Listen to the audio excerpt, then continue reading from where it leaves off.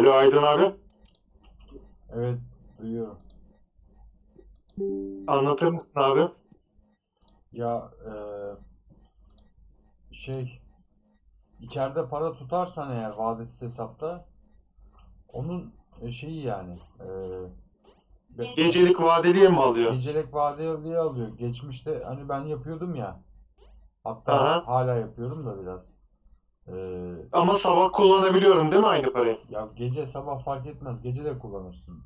Yani şey gibi değil. Böyle aylık vadeli hesaplar var veya 6 aylık, bir senelik falan. Onu bozarsan mesela parayı bütün faiz yanıyor. Yani hiç yatırım E gece de kullanırsın diyorsun ama abi. Gece sonuçta vadeli anlaşmış olmuyor muyuz? ay gün o, o gününkünü alamazsın sadece. Normal atıyorum vadeli hesaplar 30 minimum 30 günlük olur. 6 aylık bir senelik de olur atıyorum.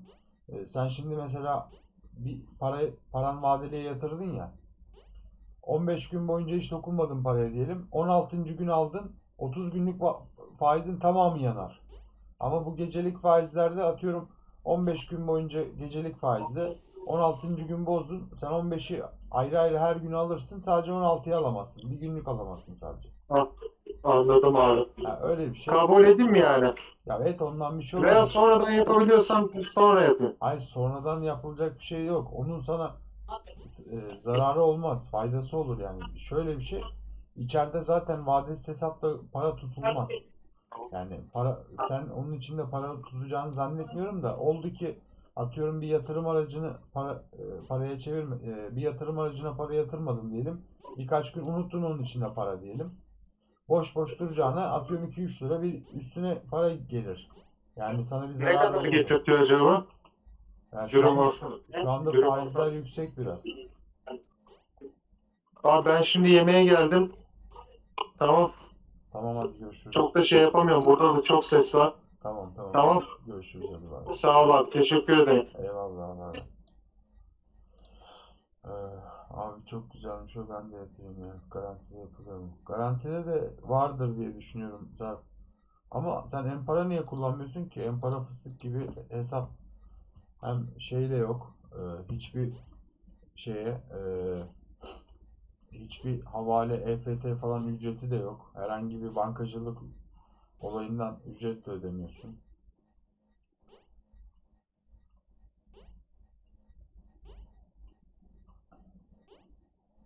Bence Empara kullan. Empara öyle bir kart ki yani hiçbir fest işlemi, havale işlemi, EFT işlemi, bankalar arası transfer vesaire hiçbir şey ücret ödemiyorsun. Ayrıca işte banka kartı da var, kredi kartı da var. Ee, ayrıca banka kartının ve kredi kartının hesap işletim ücreti de yok. Yani öyle bir banka ki Empara yani anlatılmaz yaşanır. İnanılmaz avantajları var.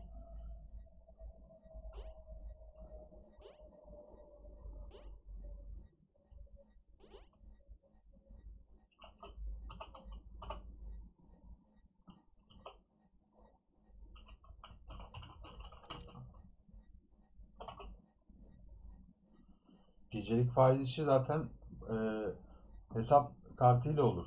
Kredi kartıyla olmaz. Kredi kartının içindeki para senin paran değil ki kredi. Onunla olmaz. Şeyle olur. e, hesap kartıyla, banka kartıyla olur. İçeride senin keş paran olacak yani onunla olur. Ha, kredi kartından nasıl yapabilirsin bu işi? E, mesela nakit avans limitleri oluyor kredi kartlarının. Oradan kendine bir 5-10 bin lira atıyorum nakit avans çekersin. O parayı eee, kullanabilirsin. İster faize yatırırsın, ister harcarsın falan. Kredi çeker atarsın da şu anda yönetmeliğe yeni bir kanun geldi. Eee, kredi çekerken veya nakit avans çekerken senden bir onay alıyor. çektiğin parayı yalnızca ihtiyaçların için kullanacağına dair herhangi bir yatırım aracında vadeli hesapta, altında, dövizde, borsada, sağda, solda yatırım olarak kullanmayacağına dair e, şey alıyor senden. Yazılı onay alıyor. E, o paraları ancak yani sen gene yaparsın yapmaya. Onda sorun olmaz. İstersen çekersin 10 bin lira, 20 bin lira, 50 bin lira yatırırsın faize. Onun faizini yersin. Ama e, ileride bir gün denetlemeye takılırsan atıyorum hesapların incelenirse tespit edilirse cezası var yani.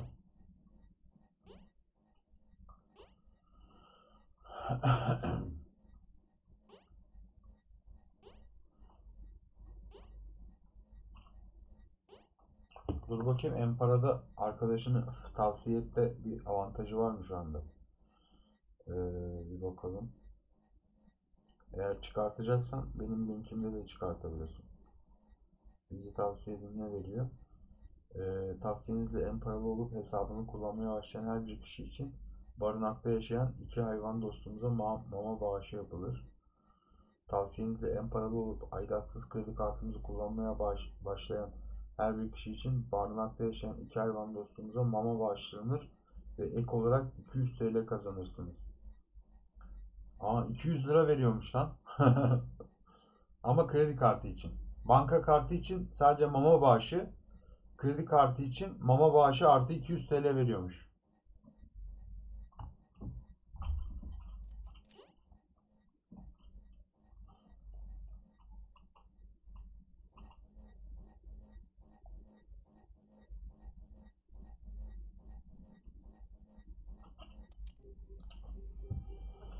Evet.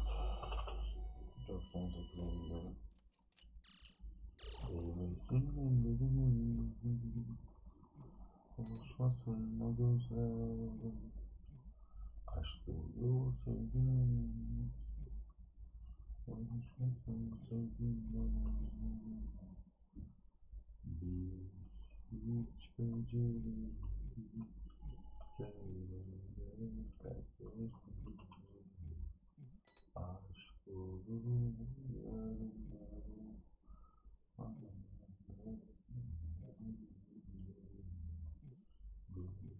Biz hiç beceremedik. Sevgilim kalbim.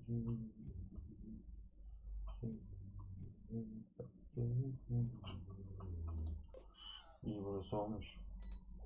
Abi faiz oranı yüzde kaç?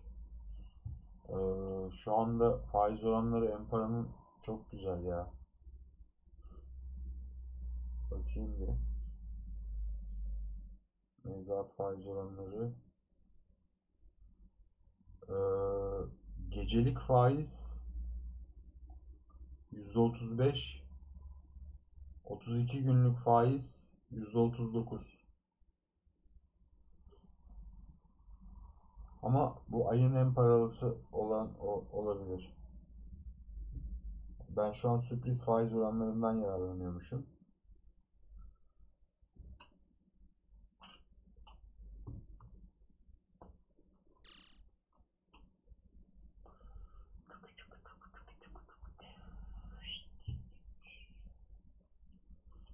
Değmesin ellerim,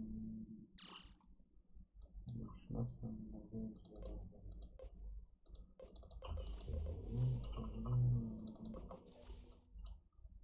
Düşmesin sevgilim. Biz hiç beceremedik. Sevgilimde. Dur bakayım. Ee, ayın en paralısı olmayanlara kaç para faiz? En para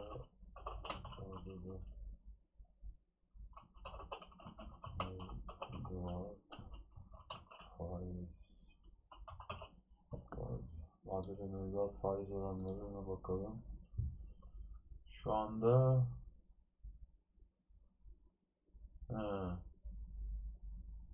Ben şu anda avantajlı şeyden yararlandığım için bende %35 ama yeni en paralı olanlarda %27,5'muş.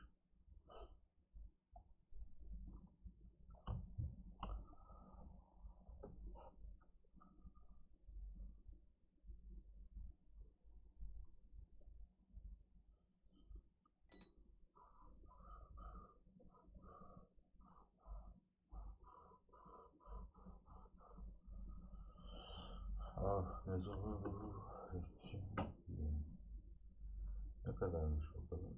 He, 32 bin lira bakalım. 5 bin liraya.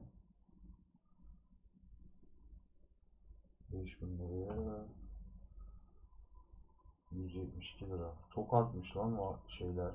Faizler inanılmaz yükselmiş.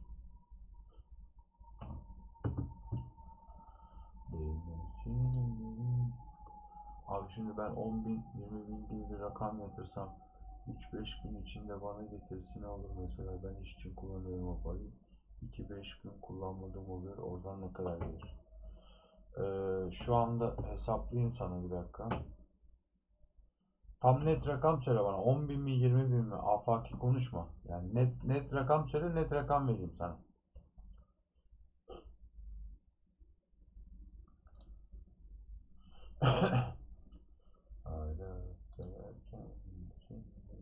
Yaprak gerçekleşen vade gün sayısı kurtarmalı gençler kurtarmalı standart. 15 direkt diye yazarsın 15 bine eee, şu anda yeni yeni üye olursan 15 bin liraya ne kadar diyelim? 27,5 32 gün. Ha bir dakika burada gecelik faiz yok burada. Oranlar ve kurlar mevduat faiz ihtiyaç kredisi döviz altın ek para. Harcama. Yok ek para değil. Ödemeler oranlar ve kurlar. Mevduat faiz oranları. Gecelik faiz burada gözükmüyor. Birikim hesabı faiz oranları.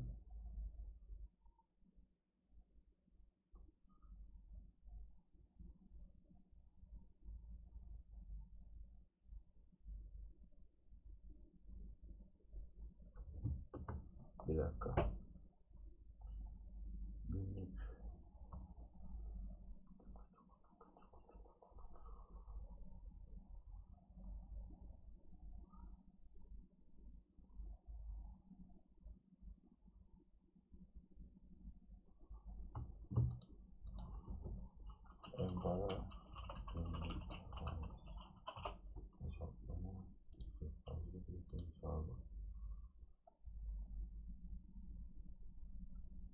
Birikim hesabı Allah Allah. Niye böyle gösteriyor ki? Bende niye böyle?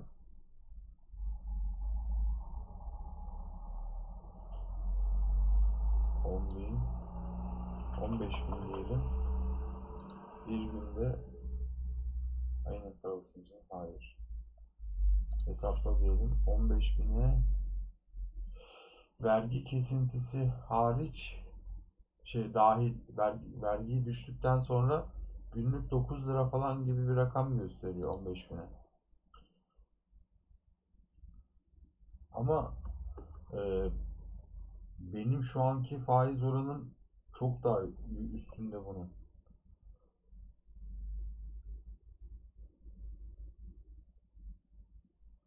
Bakayım bir. 15 bin diyelim. 15 bin. Benim 13,5 lira. Ee, bana verdiği 13,5 yeni birisi olursa ona 9 lira 10 lira gibi bir rakam veriyor. Yani bana bir bir buçuk katı falan daha fazla veriyor. O da işte belli bir süre eh, bir kullandığım için biraz biraz da ayın en paralısı olma diye bir şey var bunda. Ee, belli başlı şeyler yapmanı istiyor senden görevler. O görevleri yaparsan faiz oranını da arttırıyor. Görev dediği de işte atıyorum e, hesabına para gelecek. Sen bir hesaba havale yapacaksın. Ondan sonra işte birikim hesabında belli bir tutar paran olacak falan. Belli başlı bankacılık işlemlerini yaptığın zaman ayın en paralısı oluyorsun. Ayın en paralısı olursan da faiz oranın artıyor içeride tuttuğun paranın.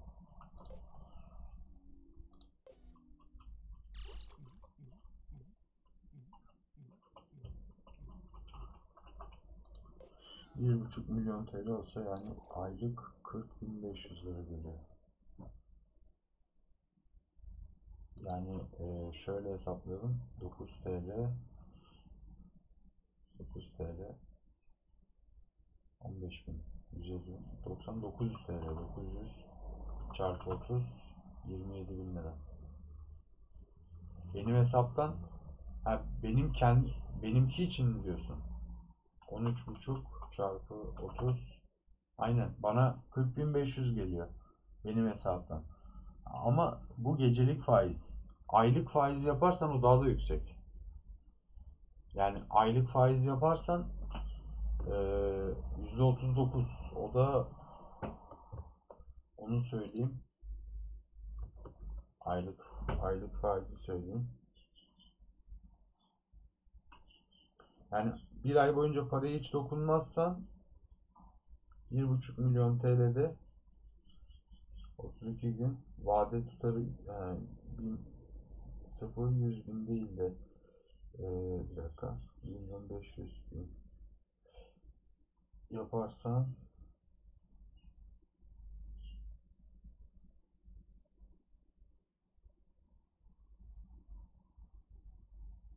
Evet. 1 milyon ve üzeri dersen 39 1 milyon 500 bin dersek. Daha fazla. Toplam 1 milyon 554 bin oluyor. 3000'i vergiye kesiliyor. 1 milyon 551 bin 768 52 bin lira falan geliyor. Eğer ki şey yaparsan paraya hiç dokunmazsan 52 bin lira geliyor paraya dokunursan 40 bin lira geliyor yani paraya hiç dokunmazsan e, 12 bin lira daha fazla geliyor Vallahi iyiymiş o mantık abi. Yatları katları arsalar her şey satmak faizi. Ya şu anda e, gecelik faizden daha güzel yatırım imkanları var. Ama tabii e, bu gecelik faiz dediğimiz veya aylık faiz dediğimiz şeyler garanti garanti para. Yani paran kesin gel- gelecek sana. Ama ufak da olsa ben risk alırım dersen bu kadar garanti olmayan, ufak birazcık risk içeren, çok daha yüksek kar getiren e, yatırım araçları var. Ben oralardan biraz kazandım. Hatta son bir işte e, en azından bir 7-8 aydır, 10 aydır falan yaptığım bazı yatırımlardan kazandığım paralarla e, geçindim. Birazcık onlarla. Biraz borca girdim. Biraz onlarla geçindim falan. Çalışmadım yani bayağı bir uzun süredir. Oralardan geldi para bayağı.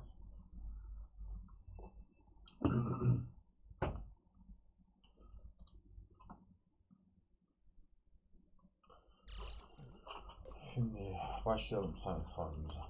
İlla vardır abi zaten ama çok zengin adam yatırır 30 milyon TL. Aylık 1 milyon değer olur. Çok. İşte çok zengin adam onu yapmaz.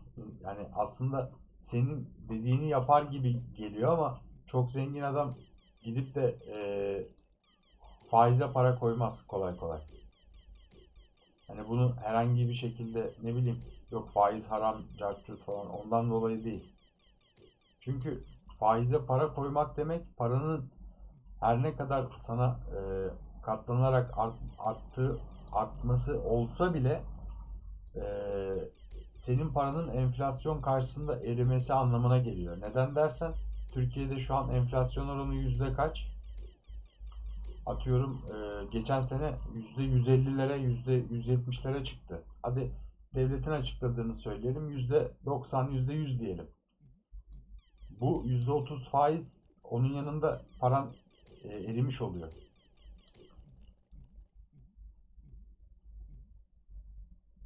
Yani şöyle e, yatırım araçlarını bilmeyen ondan sonra işte e, ekonomiden birazcık da olsa anlamayan, finans işlerine pek kafası çalışmayan adam gider faize yatırır. Onun içinde hatta şey olur. Doğru bir karar olur.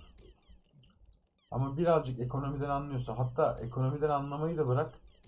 Mesela eee, büyüklerimizin yaptığı en eski yatırım aracı hangisidir sence?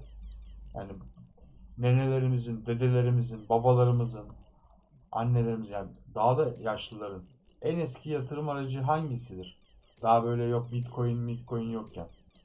Faiz değil. Bankacılık sisteminden de önce. Yani bırak bankacılığı hatta paradan bile eski. Yani binlerce yıl önceden beri gelen en büyük yatırım aracı yani en güvenilir liman hangisi sence? Yok altın tabii ki. Altın. Altın ağlatmaz.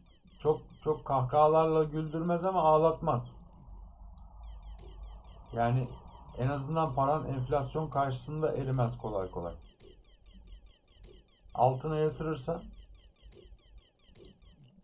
şu anda faizin verdiği para var ya altınla onunla uzun vadede ama altınla yani altınla bir ayda kazanamazsın. Bir sene beklersin, bir sene sonra paran 2'ye 3'e katlanabilir altınla. Ama faizle ancak %30, %40. Altınla %200'leri, %150'leri bulma şansın olabilir. Hani ekonomiden çok anlamıyorsan, borsadan, hisse senedinden, yatırım fonundan falan hiç anlamıyorsan yatır altına. Kafan rahat. Yatırım tavsiyesi değildir bu arada. Kendi zengin olmuş bir adam zaten böyle ne yapacağını bilir. İşini bitir, başka dalları geçiyor. Zaten o adam ne yapacağını bilir. İşte ben de onu kastediyorum yani. Kendi emek emekle kasmış bir adam parayı. Ee, kolay kolay şey yapmaz. Faize yatırmaz. Çünkü bilir ki parası eriyecek. Yani mesela faizden gelen para sıcak para olduğu için bazı insanlara tatlı geliyor da ama bilmiyor ki şöyle bir şey. Mesela örnek vereceğim şimdi sana. Mesela eee, en en dandik bir mal bile alsan paranla ne alırsan al. İstersen eee, gıda al tamam mı? Kuru gıda al. Mesela diyelim ki bir yerden bir ton buğday al. Onu bir depoya yatır. O bir ton buğdayı. Küflenmeyecek, bozulmayacak şekilde. Bir sene sonra sat. iki katına, üç katına satarsın o buğdayı. En dandik yatırım aracıyla. Veya işte mal mülk alırsan, hele gayrimenkul, otomobil tarzında mal mülk alırsan paran 2'ye, 3'e, 4'e katlanabilir birkaç sene içinde. Ama faize yatırırsan senede en fazla %20, %30, %15 o kadar paran artar. Yani 10 katı daha fazla e, değerlendirebilirsin paranı. Abi yatırım için en uygun para birimi borç kredi mesela ben kredi vergi olmuyor. Türkiye'de bunların dönüş oranı biraz daha fazla ama yurt dışında falan çok daha Aa, ne zamanlar senin tabii. Ee, kredi ile yatırım şöyle olur.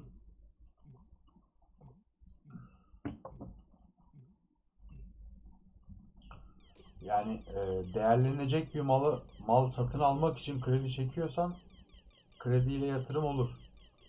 Ama e, başka türlü kredi seni eksiye çeker. Yani kredi çekeceksen pek borçlu yani e, nasıl diyeyim geçimini çok rahat sağlayıp ayrıca yatırım için de para ayırabiliyor olman lazım. Sağlam bir akarın olması lazım krediyle yatırım yapabilmek için.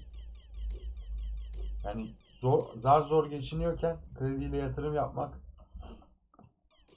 zor. Çünkü borcunu zor ödersin. Krediyle ev alınabilir mesela. O iyi bir yatırım olabilir.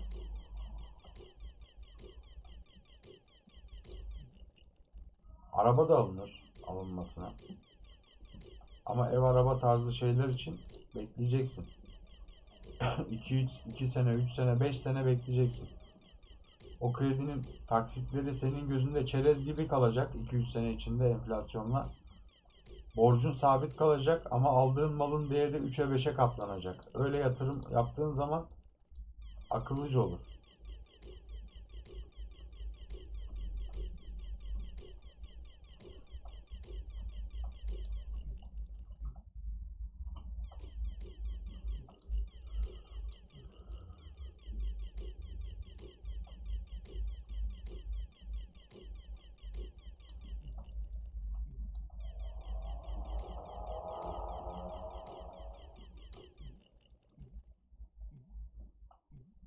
Bir yatırım olabilir bahsettiğin gibi. Zaten o yöntemi kullanan çok kişi var. Benim gücüm yetseydi ben de öyle bir şey yapmayı düşünüyordum da. Şu an imkanlarım el vermiyor. Ee, gelecekte belki.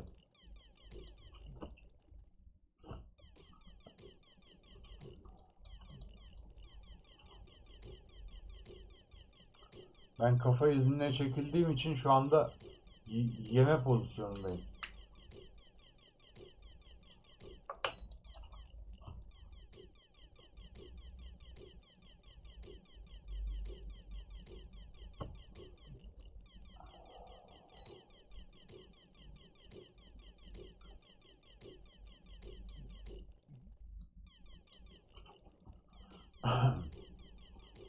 Para kazandıkça para parayı çekiyor yani bir şekilde yavaş yavaş arttırıyorsun servetini.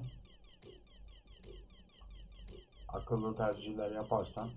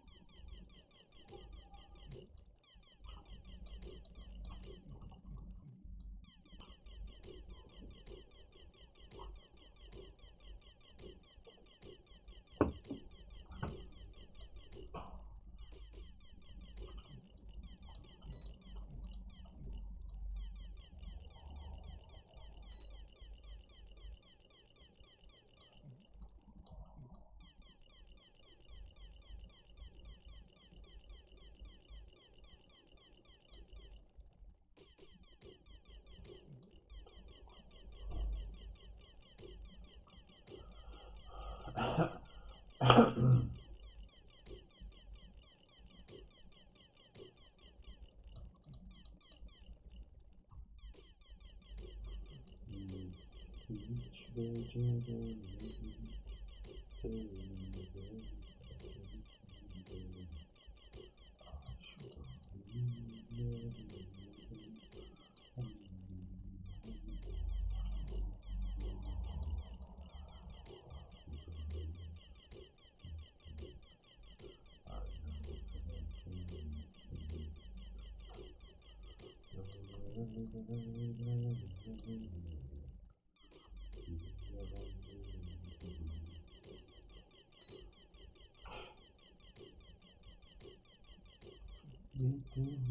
Mm-hmm.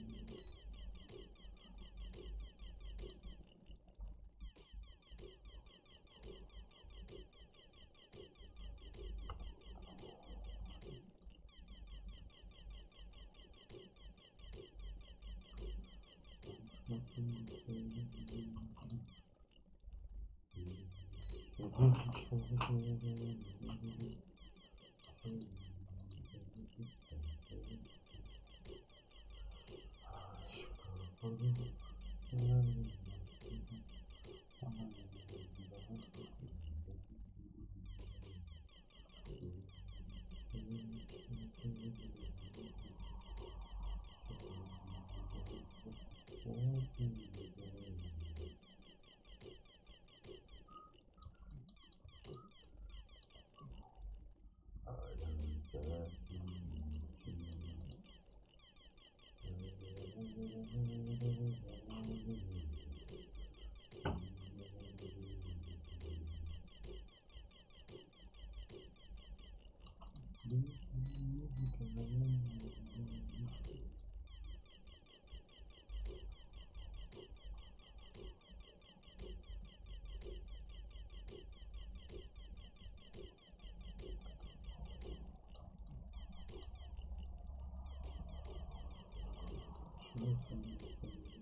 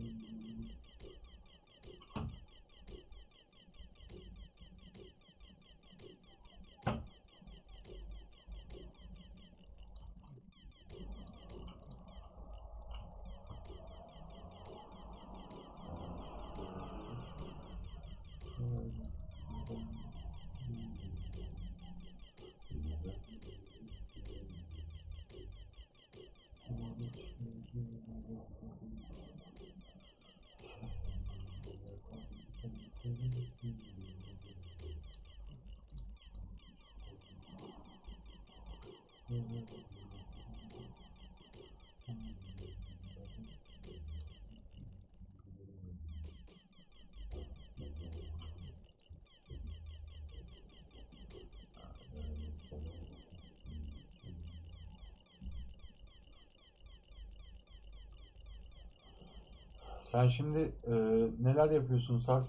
Puf falan yapıyorsun herhalde. Başka? İşte Growtopia ile alakalı bir şeyler demiştin. O ciddi miydin onda yoksa?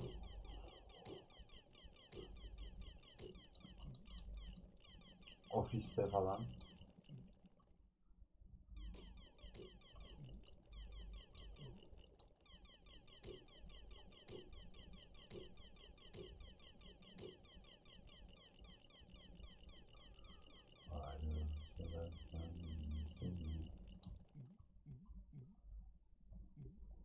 Ticarette hangi platformda?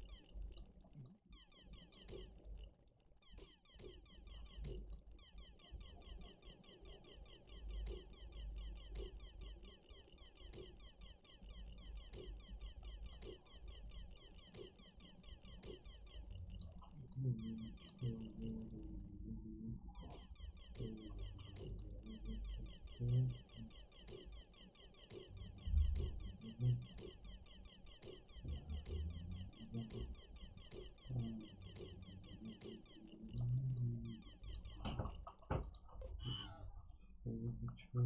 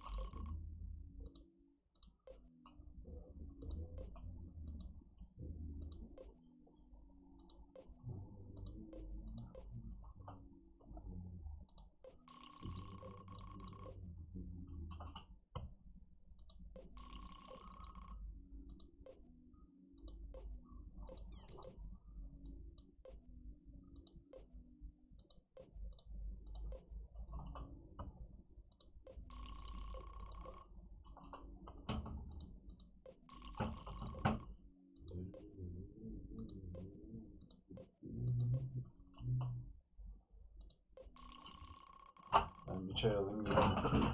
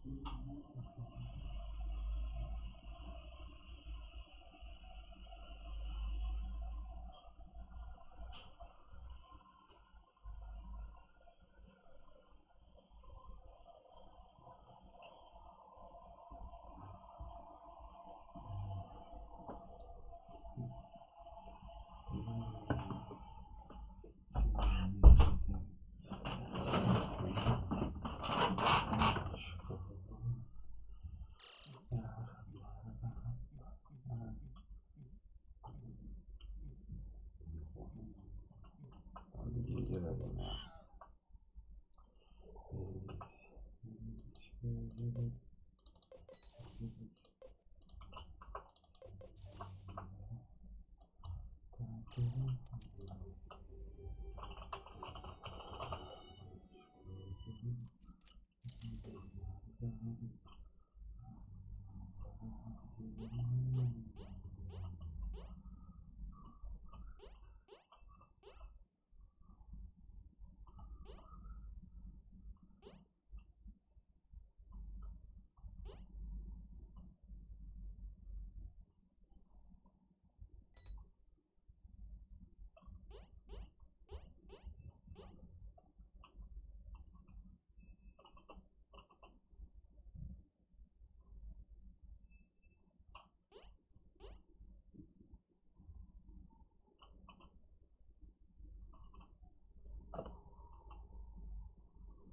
Mm-hmm.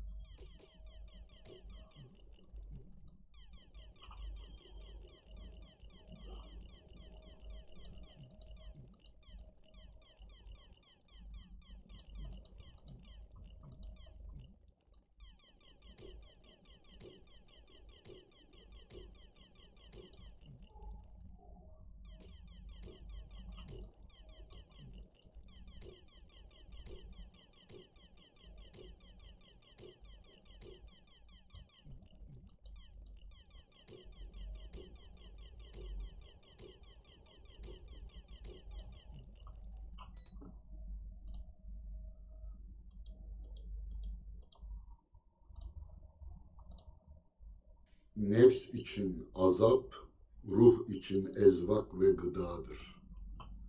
Bunu Hasan Lütfü Şuşut söylemiş. Melami Nuriye'den bir alıntı bu. Nefs için azap, ruh için ezvak ve gıdadır. Ezvak yani çok zevk vericidir. En zevk verici durumdur. Nefs azap çekince ruh büyük zevk alır.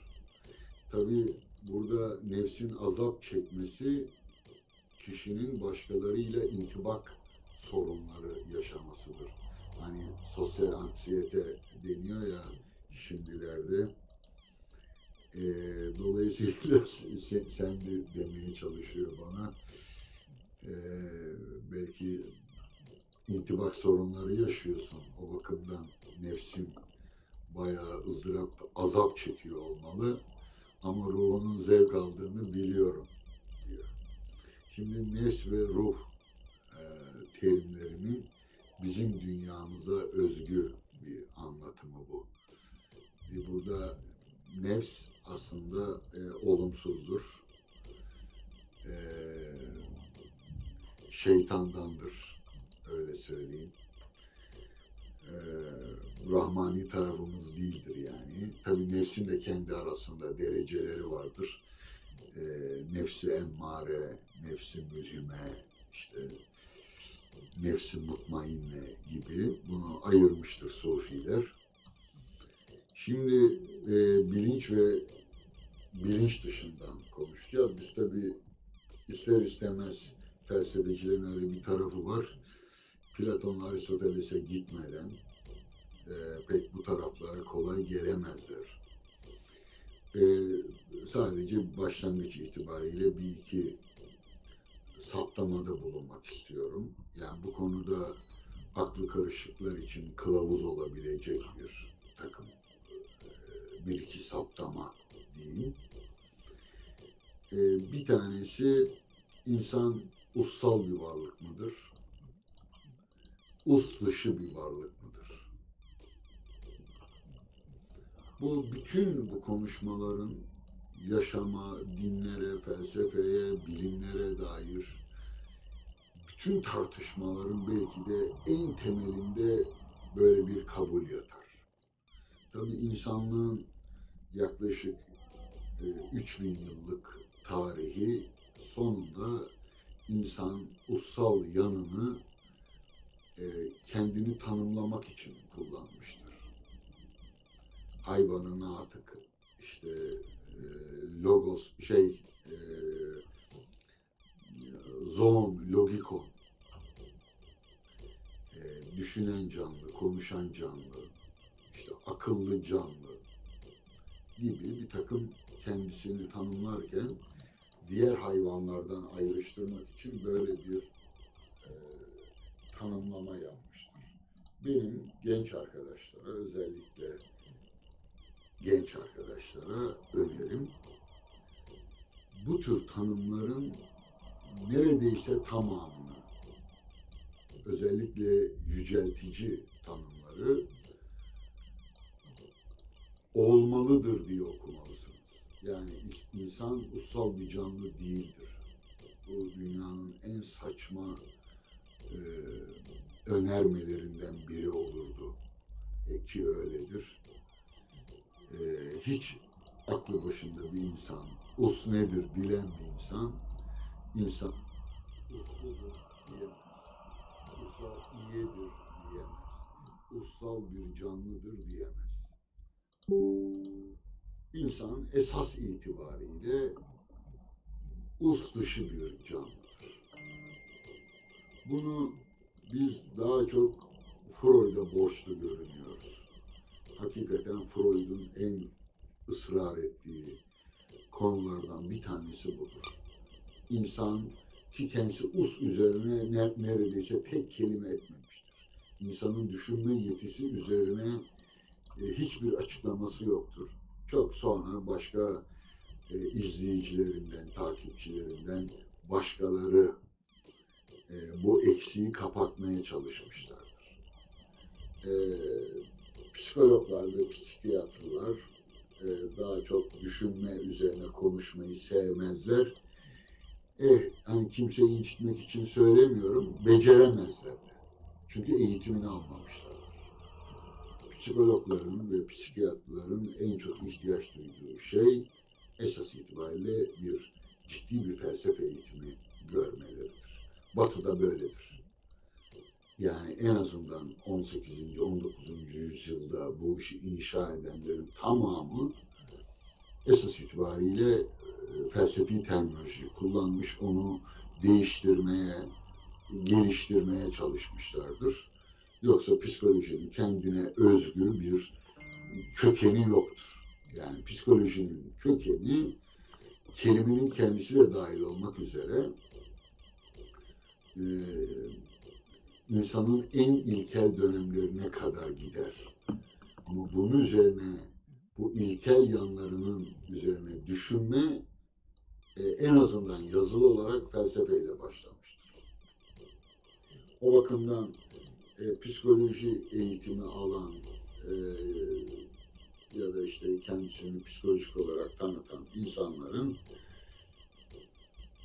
pratisyenlerin demiyorum tabii bu iş üzerine düşünen kavrayışını derinleştirmeye çalışanları kastediyorum.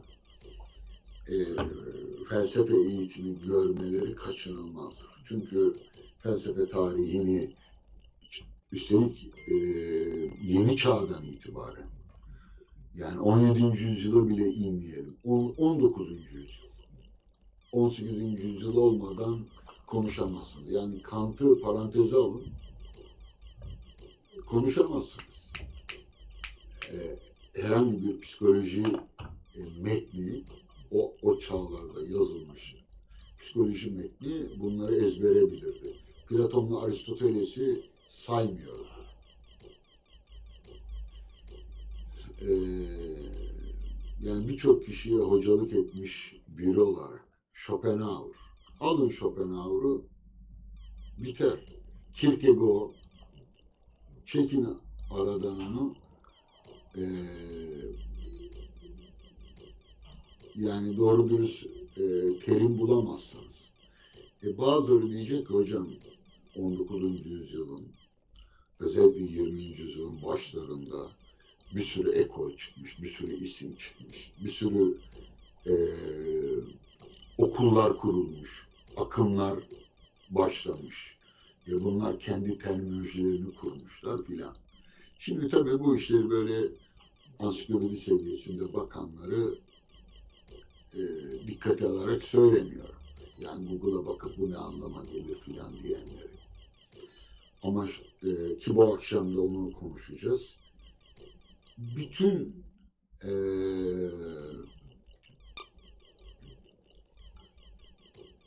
psikolojik terimlerin insan doğasına ilişkin yapılan bütün açıklamaların tamamının istisnası var demiyorum bakın. Yani psikiyatriyi de için içine sokarak söylüyorum. Tamamının şeyi e, anne kucağı felsefedir. E, Platon'la Aristoteles'i paranteze alın. 2500 yıllık e, uygarlık tarihi, bilim tarihi çöker. Bundan emin olabilirsiniz. Bütün terminolojiyi oradan alıyoruz. Mesela size bir şey söyleyeyim. Bugün herhangi bir psikoloğa gittiniz, herhangi bir psikiyatra gittiniz, gitmek zorunda kaldınız. Aradaki farkları bildiğinizi düşünüyorum. Yani psikoloğa gitmekle, hatta bir psikanaliste gitmekle, bir psikiyatra gitmek arasındaki farkları biraz olsun ayırdına varmış olduğunuzu düşünerek soruyorum. Günah kavramını kullanırlar mı?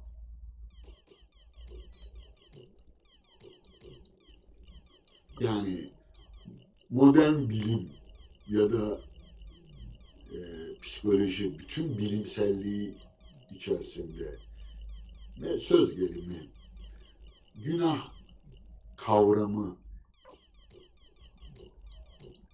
kelimesi demeyeyim hadi kavramını kullanır mı? Birçok kişi hele aranızda varsa ki olduğunu biliyorum. Ee, hiç kimse bu soruya olumlu bir yanıt vermeyecek. Günah dinle alakalı bir kavramdır. Psikolojide ne işi var diyecektir. Peki bana suçluluk duygusunu açıklayın desem günah kavramında bulamayacağımız ne söyleyebilirsiniz? Günahın bugün modern anlamı e, karşılığı e, suçluluk duygusudur. Ve e, psikolojinin de psikiyatrinin de temelidir. Yani suçluluk duygusu olmadan birçok şeyi başvurmadan yani suçluluk duygusuna dolayısıyla günaha e, hiçbir şey açıklayamayız. O bakımdan e, bazı işlemleri biz sanki daha seküler dille anlattıkları için, yazdıkları için daha bilimsel ve bu eski hurafelerden uzakmış gibi görünür. Ama bunun böyle olmadığını bilmek zorundayız. Niye? E çünkü biz hasta tedavi etmiyoruz. Hastalara bakmıyoruz. Ne yapmaya çalışıyoruz peki? Bu konudaki dil nasıl oluşmuş? Nasıl bir zihinsel yapıları var? Mesela id, ego, süperego diyor. Bilinç diyor. Bilinç dışı diyor. Yani biz de sormak zorundayız. Ne kastediyorsunuz? Ve sonra onların yanıtlarını incelemek ve sınamak zorundayız. Ve eğer entelektüel kapasitemiz yeterse o yapılan açıklamalar geriye doğru gidiyor mu?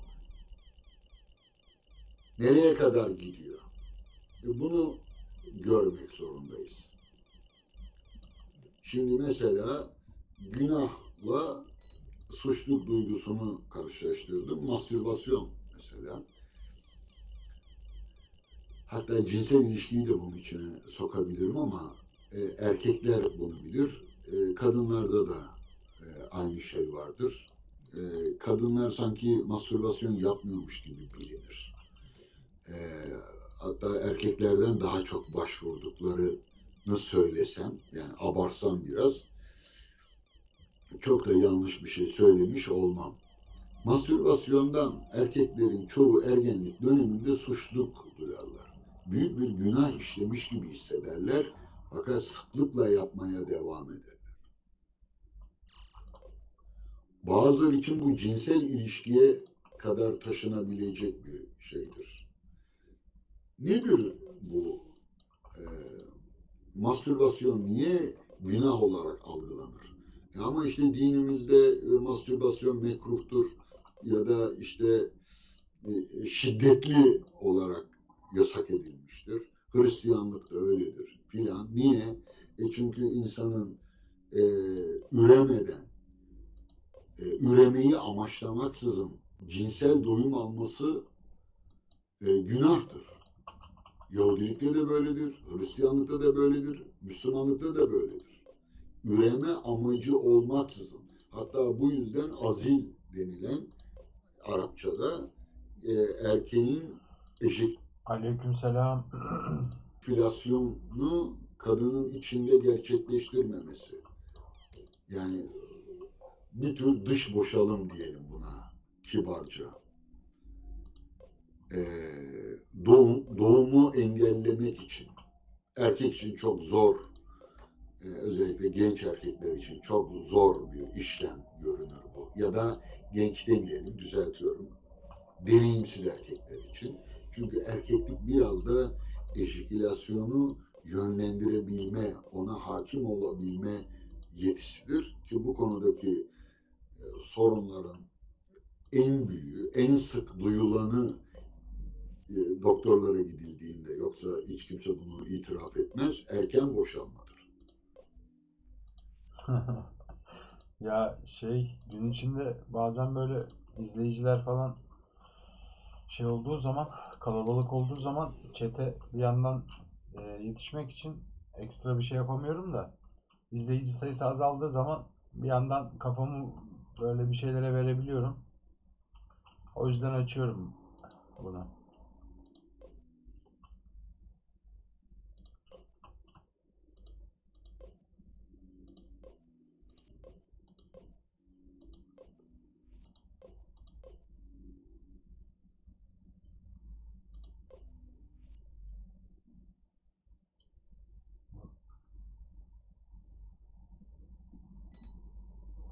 Word isimlerde iyi misin?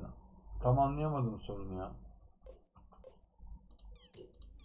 Ya piyasa bilgisi olarak mı söylüyorsun?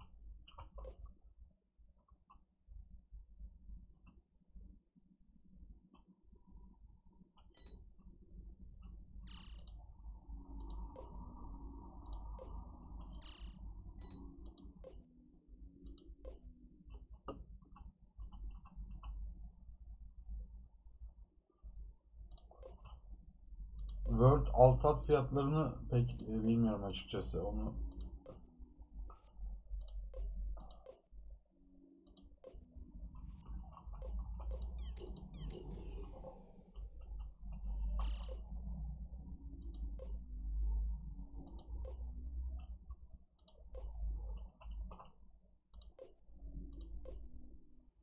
Sen satın mı aldın orayı kendin mi oluşturdun?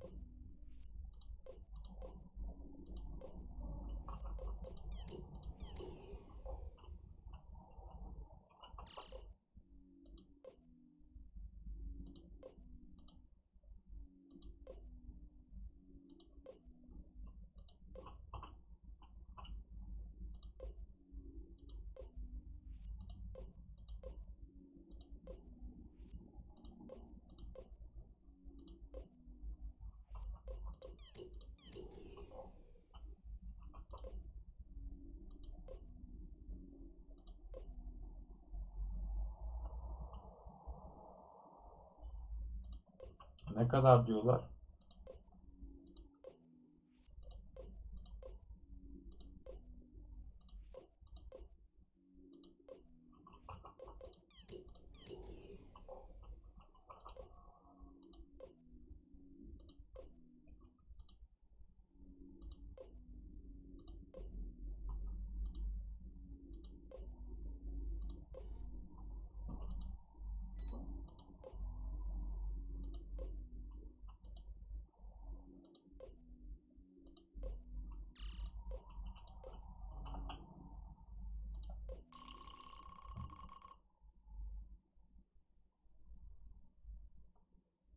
Yuh. O kadar 4 BG'li abartı geldi biraz ya.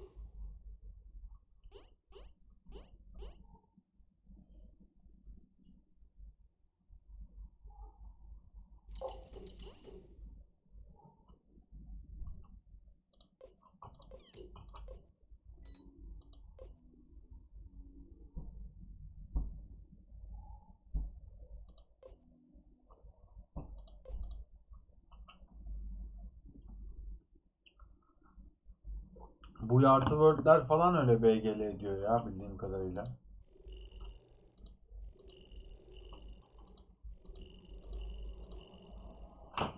Yani atıyorum buy vending falan.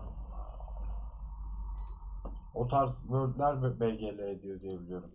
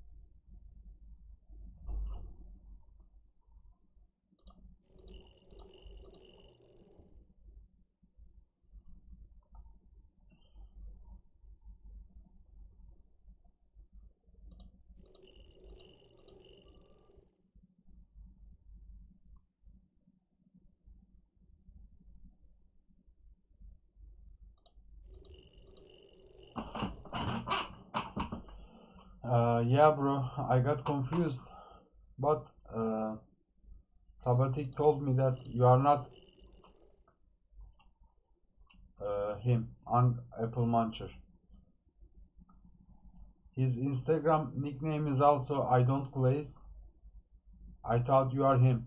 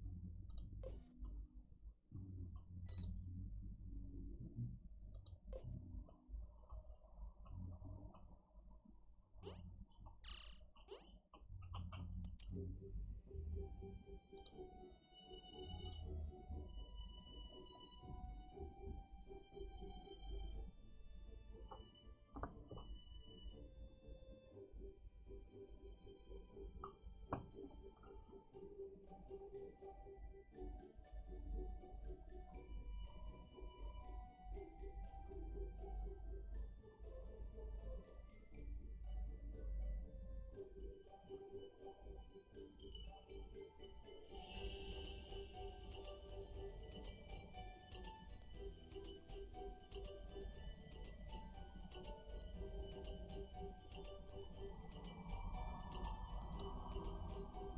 you.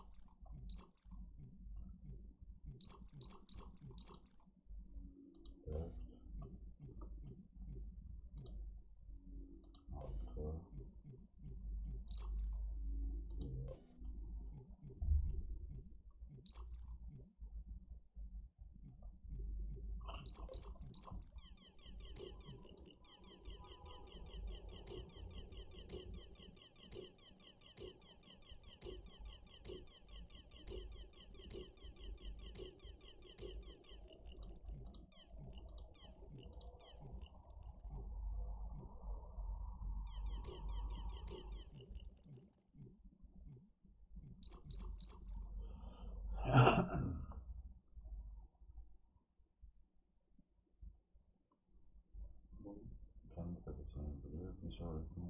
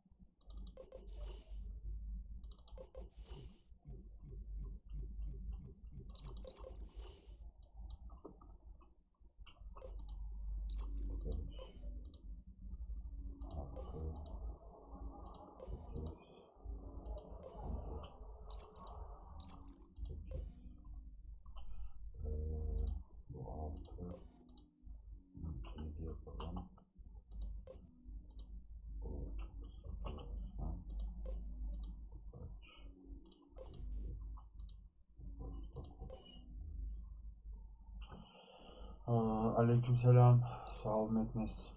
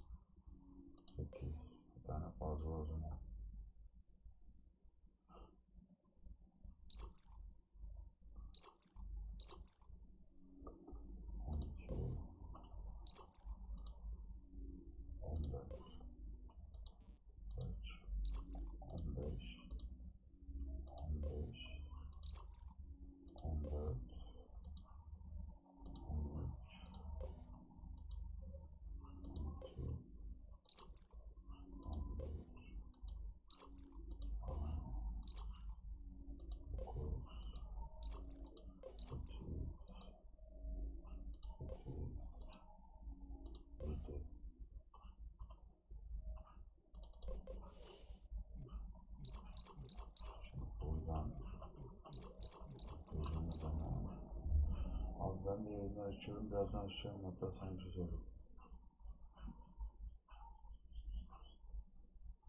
Bir bakarız Metnes bir dakika. Bir şeye bakıyorum da şu anda. Böyle yaparsak buraya geliyor.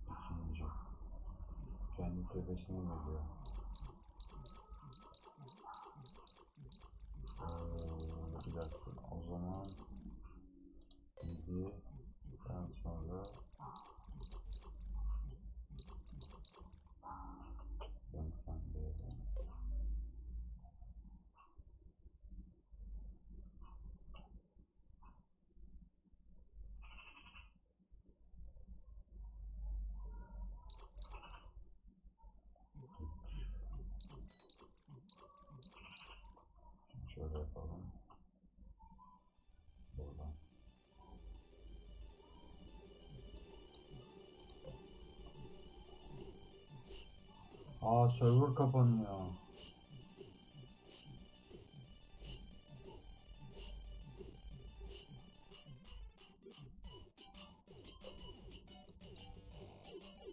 Server reset diyor.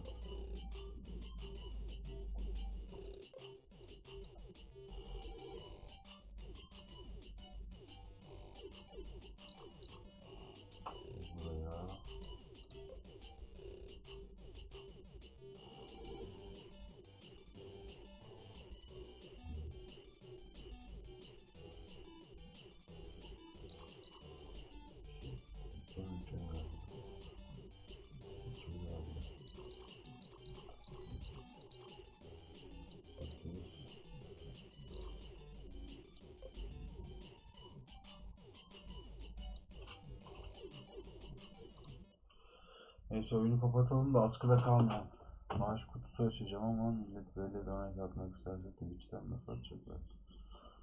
Bağış yapmak isteyenler donate örneği istiyor yani. İşte eee yani hangi world'teysen o da o world'e donate box koyunca oraya gelip atıyorlar veya trade'den de verebiliyorlar. Twitch'le bağlantılı bir şey yok yani. Ee, Bir, sana bir bağış yaptıkları zaman atıyorum ekrana yazmak istersen manuel yazıyorsun. Öyle özellik yok yani biri oyundan bağış atınca atıyorum eee, ekranda şey gibi abonelik sayısı gibi veya işte TL dolar bağışı gibi sistemde otomatik gözükecek bir şey yok.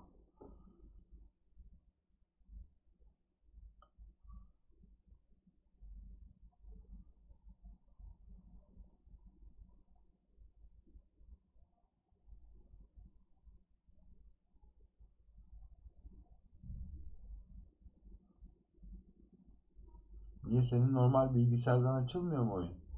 Timur.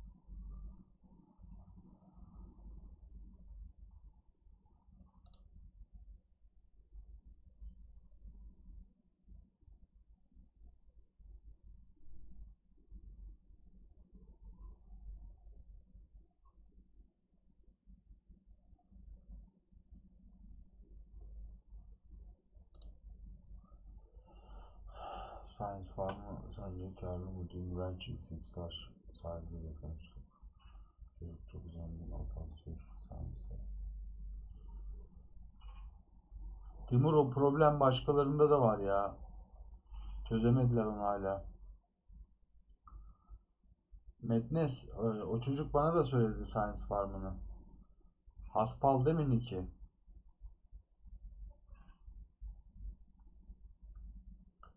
Rayman var mı sende?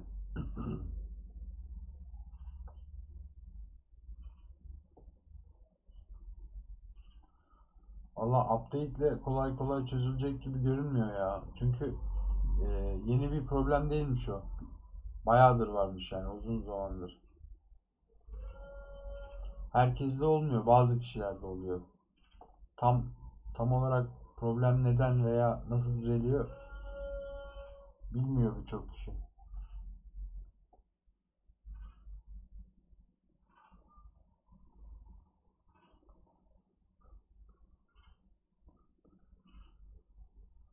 Aleykümselam.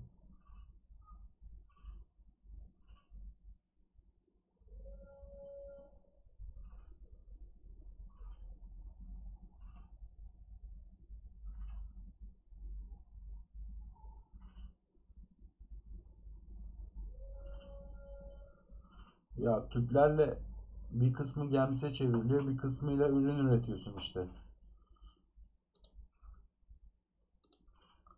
Oyun birazdan gelir beyler. Ee, şu anda açıldı oyun. Yavaş yavaş almaya başlar millete.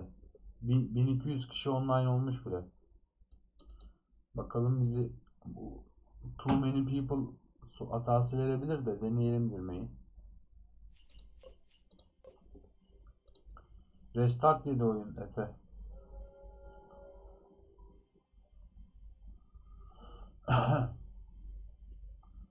İki yüz tane Mysterious oldu.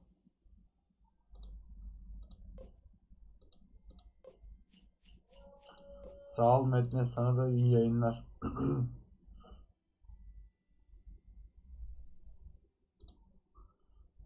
Server online gözüküyor şu anda.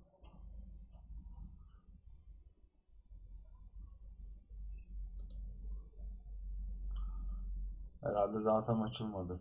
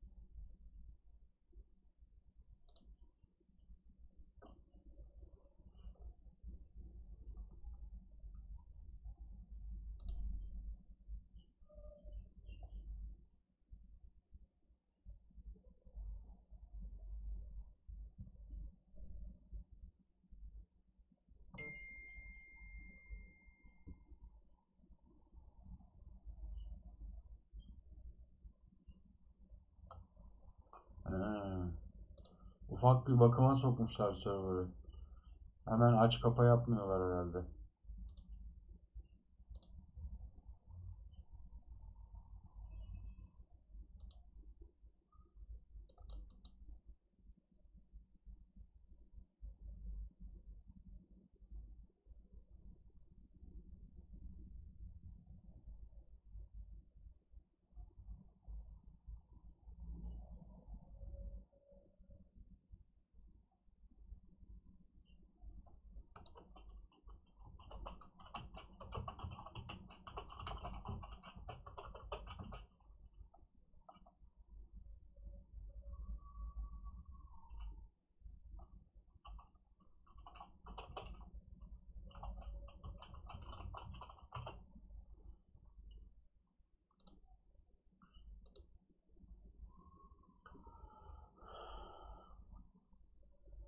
Tamam Timur.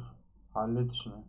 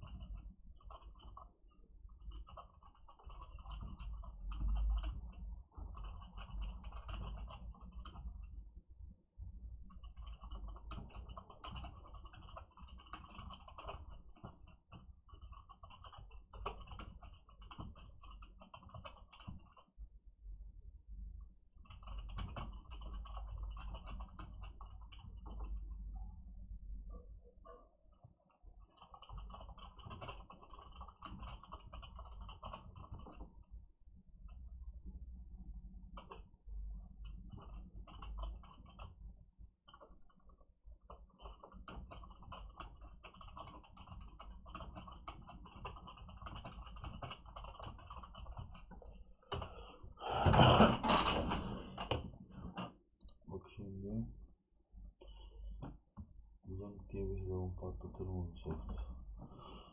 Oyun geldi mi bu arada ya bir bakayım. Yok daha oyun gelmemiş. Ee, reset geldi Kaan ya. Güncelleme gelecekmiş de. Geliyorum çay alıp.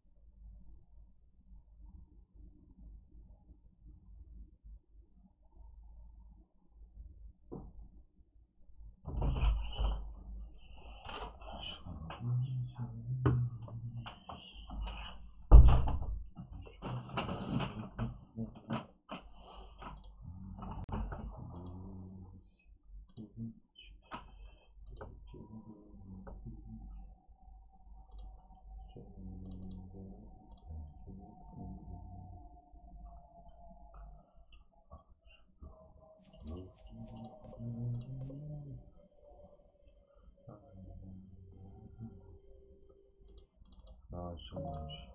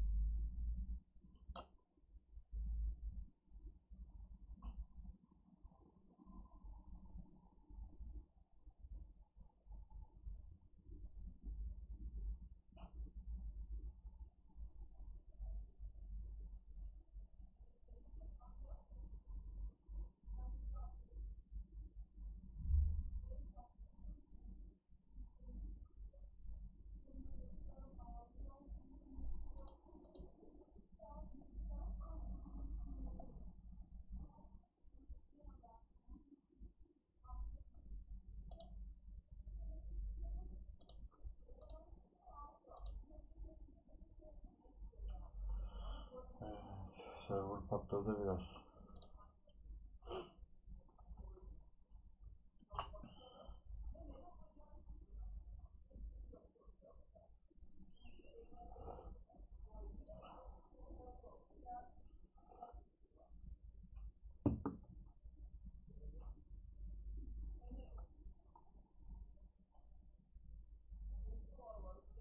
Dört tane ekilecek var.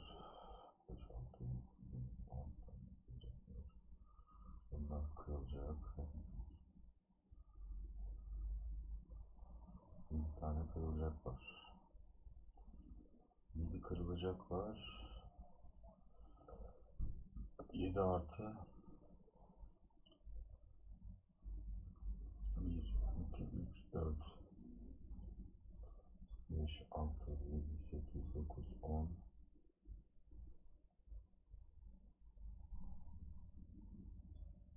On yedi tane ekilecek var.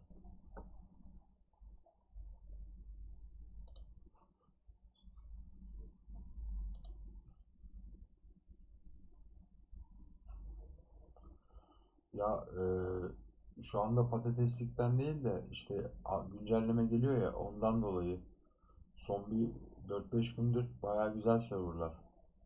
Bir, eee, bir şey yapmışlar, bir çalışma yapmışlar. Bir de botları falan da banladılar, sildiler oyundan. Eee, bayağı bir toparladı. Ne lag var, ne bir şey var, ne disconnect var. 4-5 gündür güzel. Online sayısı da düştü. 20-30 binlerde.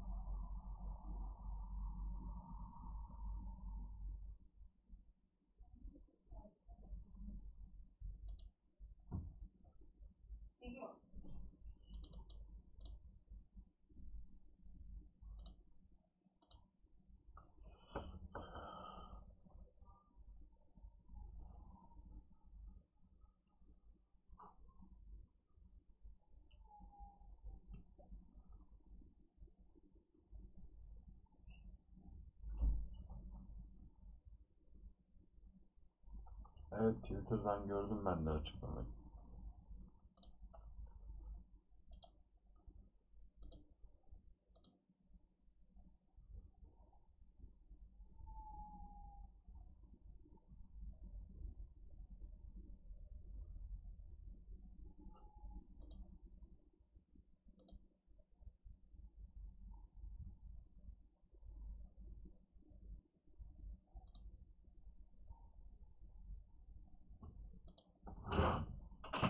Ben bir ekmek alayım geleyim.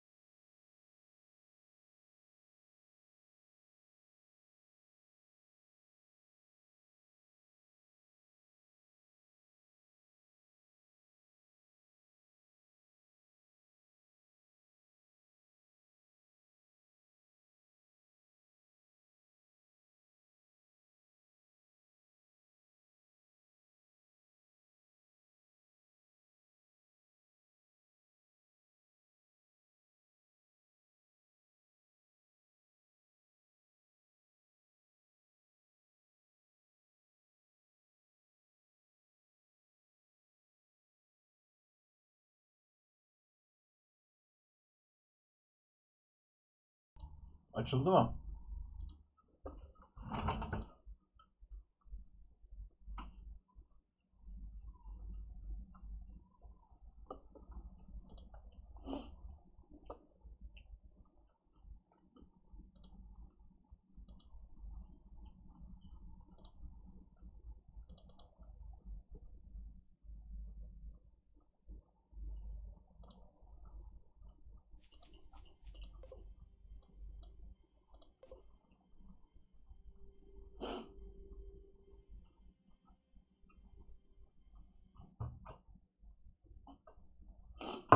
Ne gelmiş item?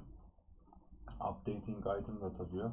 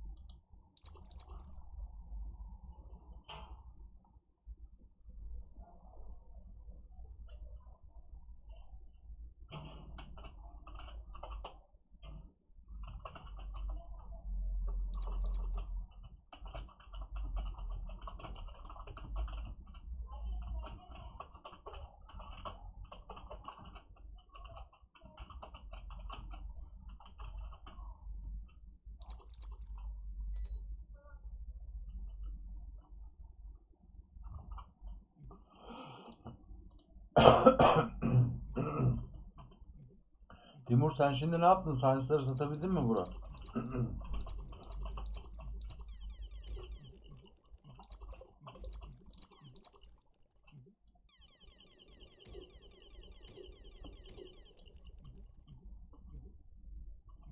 Sekiz tanesini sattın mı? Kaçtan sattın? Kar zarar bir şey oldu mu?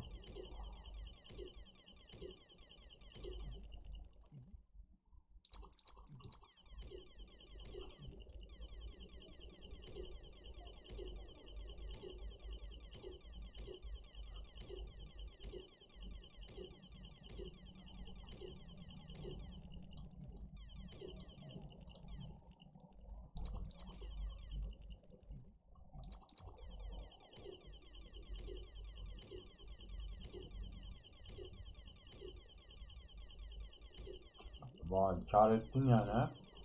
Her birinden kar mı ettin?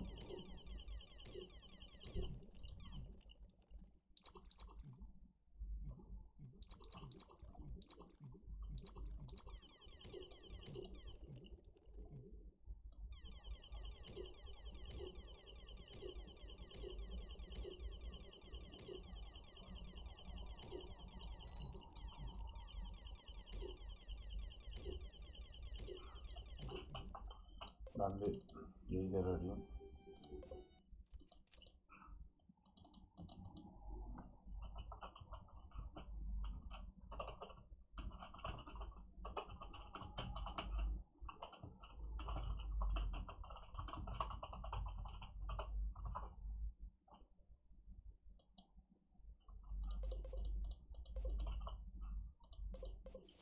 Oo. Arayamayacağız şimdilik.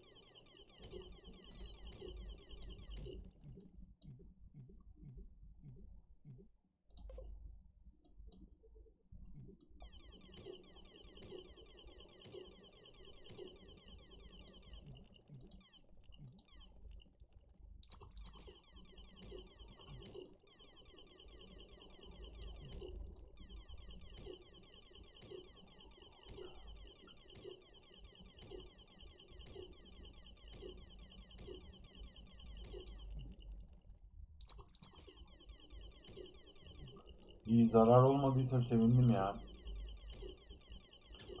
22.50 alıp ortalaması 22.50 olup her birinin ortalaması 23'e sattıysan 8 Work'ten eee 4 TL falan kar etmişsindir. Toplamda. Eee, birazcık da Mysterious biriktirmiştin. Kaç tane Mysterious vardı? 300 mü?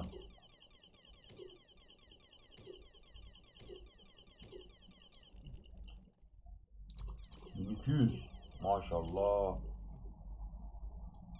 1200 nasıl yaptın ya? İki tur mu yaptın birkaç gün? Bir World'den 38 tane 37 tane çıkıyor. 9 World'den 9 kere 3 y- 9 kere 3 27. Ee, bir gün boyunca iki tur yapsan 500 olur. Sen 3 gün boyunca 2 mi yaptın? 5 gün boyunca şey 3 gün boyunca 2 tur mu yaptın?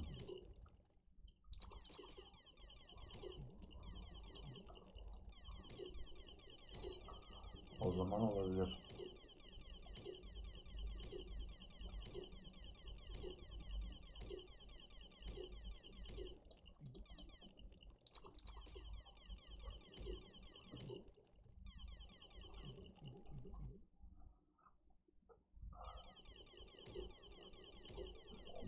...1200 tane Mysterious'tan...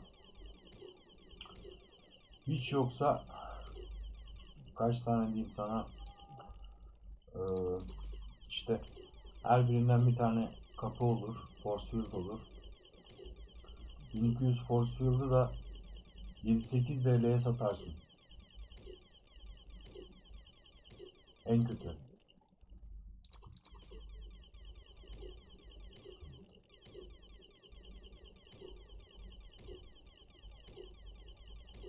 ...4 TL'de Word'lerin al satından kar. 3 günde 12 TL Science'dan kar ettin yani.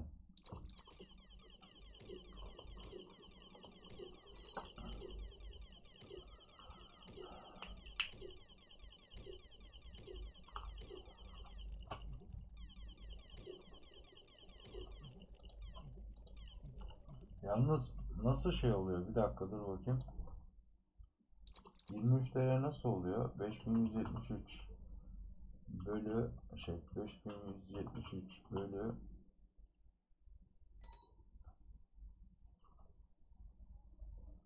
iki nokta dört mü diyeceğiz? Pardon. 5173 bölü 2.2 desek 2351 5173 bölü 2300 2.25 perden satmışsın. Artı bir de 67 tane mor kapılardan var. Artı 300k gems var. 300k gems nasıl oluyor ya? Yeşille kırmızıyı trashlemekten mi?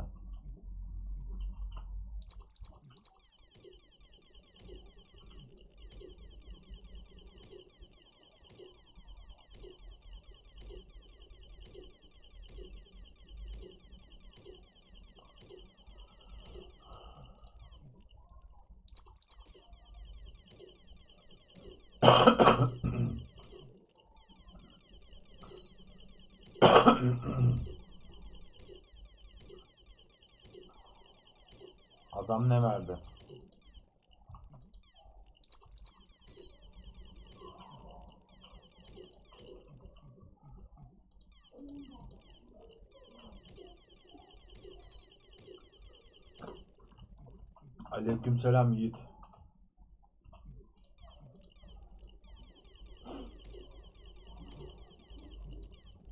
He, 10K yeşil, 10K kırmızı.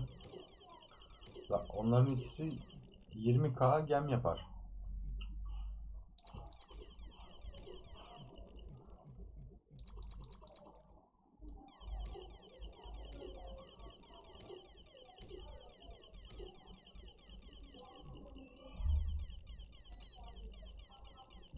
Aşağı yukarı bir hesap yapacağım şimdi. Toplam 9 tane world'ü 2 kere yapsan e, 18, 3 gün boyunca yapsan e, 18, 36, 56, 64 mu oluyor? 64 kere e, yapmış oluyorsun toplamda 3 gün yapmış olsan 64 taneden 2K 2K şey geliyor yeşil geliyor. Ee, hepsini trashlediysen 128K sadece yeşilden gem gelir. Kırmızı da aşağı yukarı o kadar geliyor. 250K falan.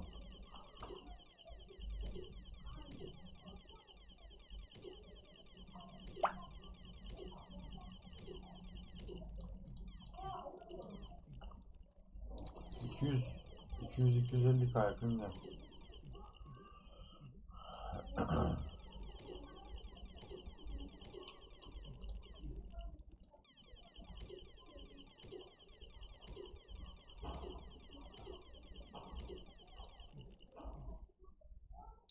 Ama sen bütün şeyleri, e, kimyasalları recycle ettiysen şimdi onlarla force field yapamazsın.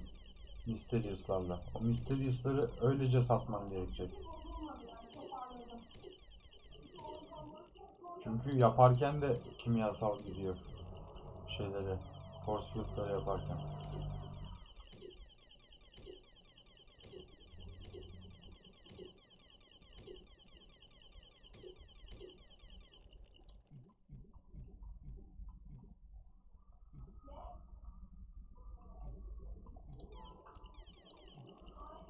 Henüz daha çok yorulmadım ya. Biraz daha oynarım. Dün güzel uyudum ama. Dün 12 saat falan uyudum. Bayağı enerji depoladım. O yüzden farma devam. Daha çok farmım var kırılacak. Yaklaşık 7 tane kırılacak farmım var, hasat edilecek. 17 tane de ekilecek farmım var. 24 farmla uğraşacağım daha.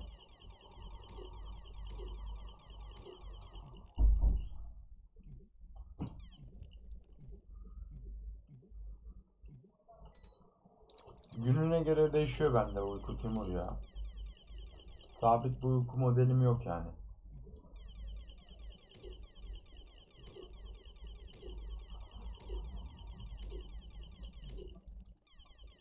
Sana zamanı zaman ışımı ara ara gerekiyor ondan atıyorum bro.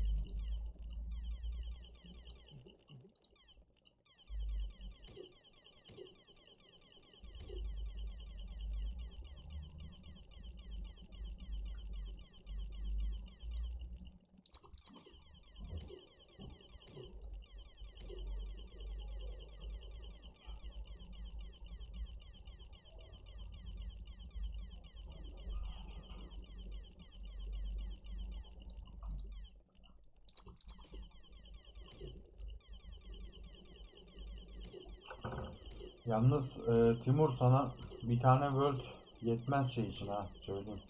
1200 tane Mysterious'ı e, işleyebilmen için bayağı bir şey lazım sana. Green'le e, Red lazım. Bir tane World'ü farmlayarak yapamazsın onu kısa sürede.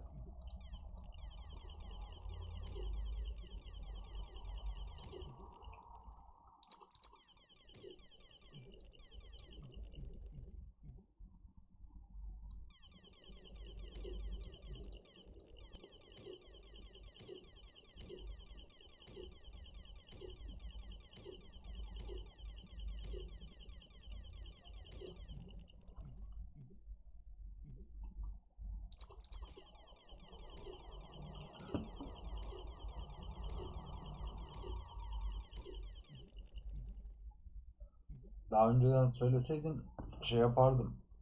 Ee, biriktirirdim sana ama ben de recycle'lıyorum ya. Bugünkü şeyleri de recycle'ladım. Sadece bu Word'den kalanlar olacak. Yani sana neredeyse kaç tane lazım biliyor musun? Hesaplayayım. Sen force field mi yapacaksın, fuel pack mi yapacaksın?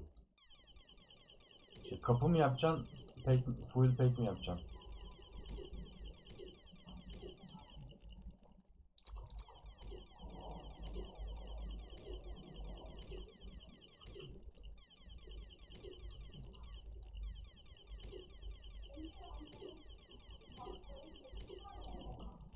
Sekiz yüz tane fuel pack gerisi kapı.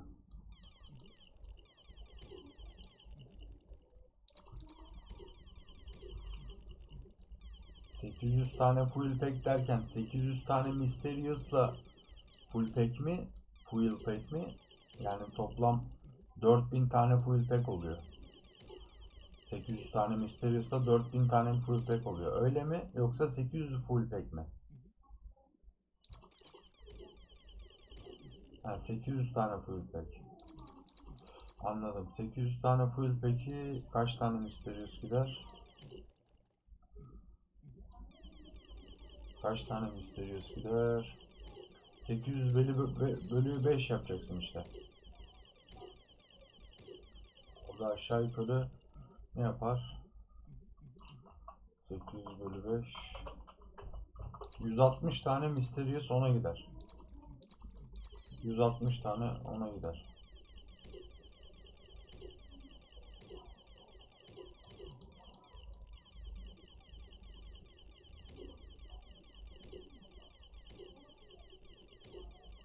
Tabi tabi çok değil.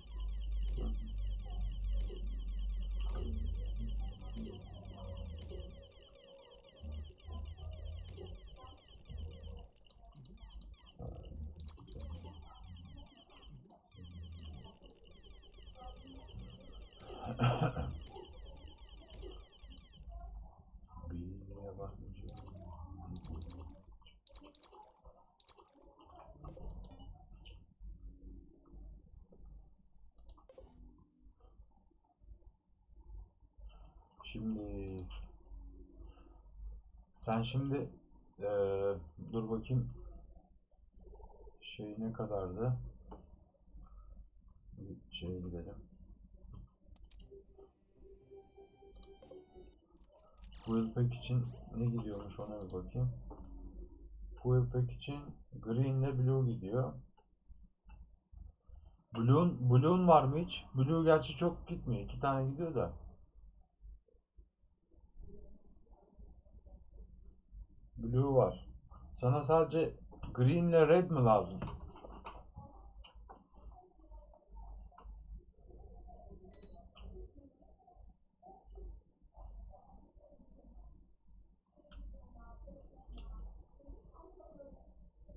Re- red var mı red?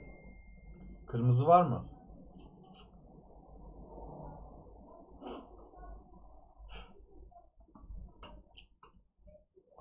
Tamam. O zaman kaç kaç perden istiyorsun yeşili?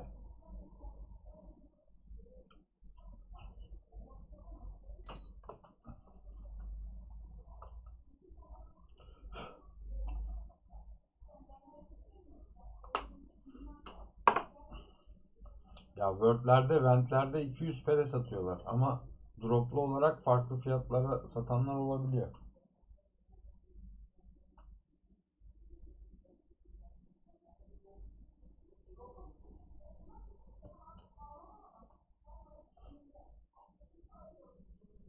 Aleykümselam.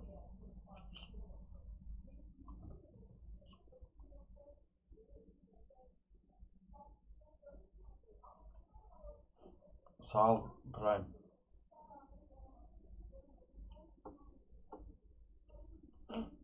Tamam Timur.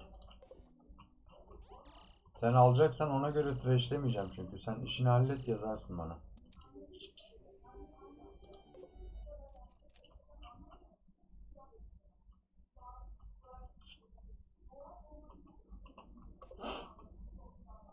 Bak Timur'da da aynı problem var Prime. O da Blue Stack'ten giriyormuş.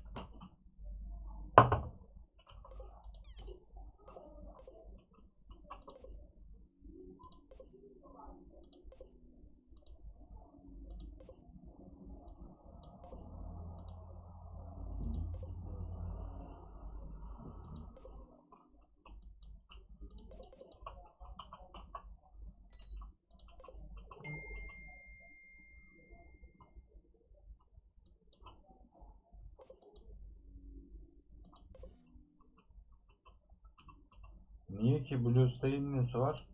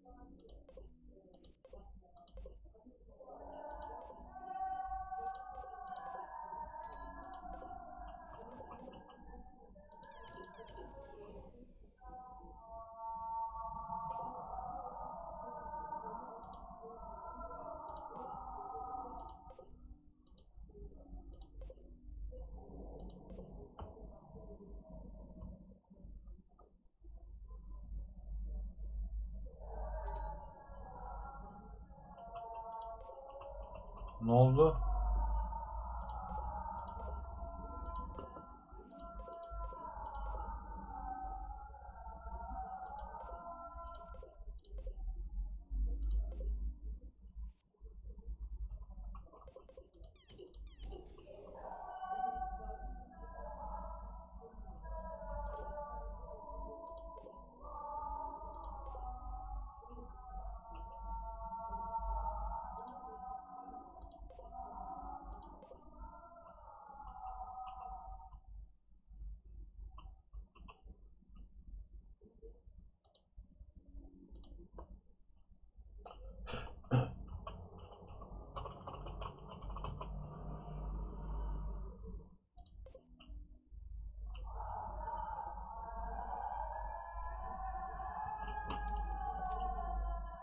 哎。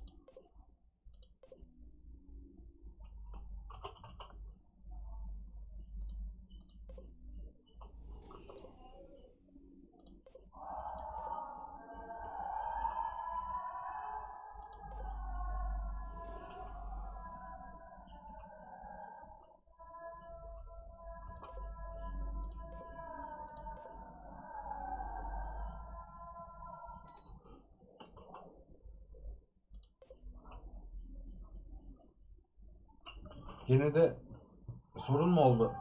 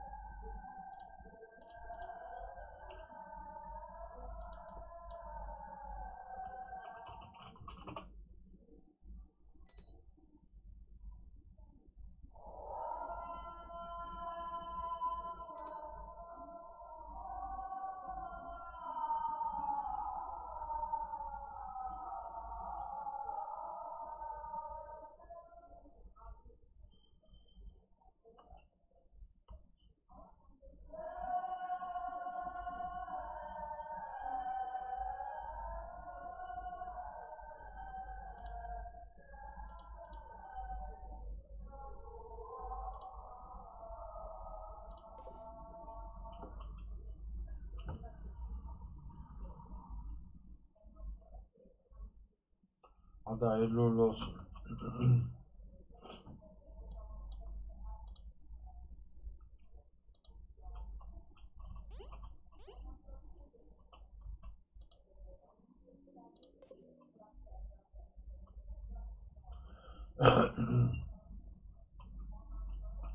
Şimdi bloğu buraya pin koyacağız. Da pinki karşıdan koyalım.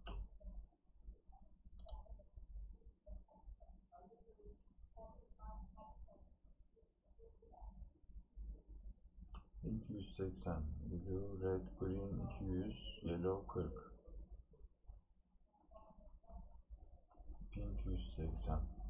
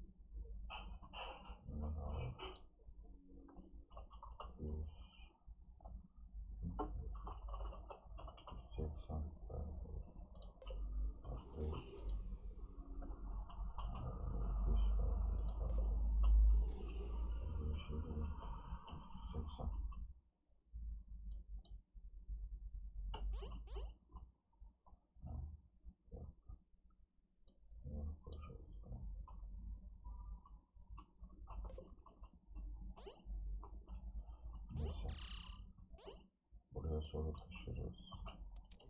Чем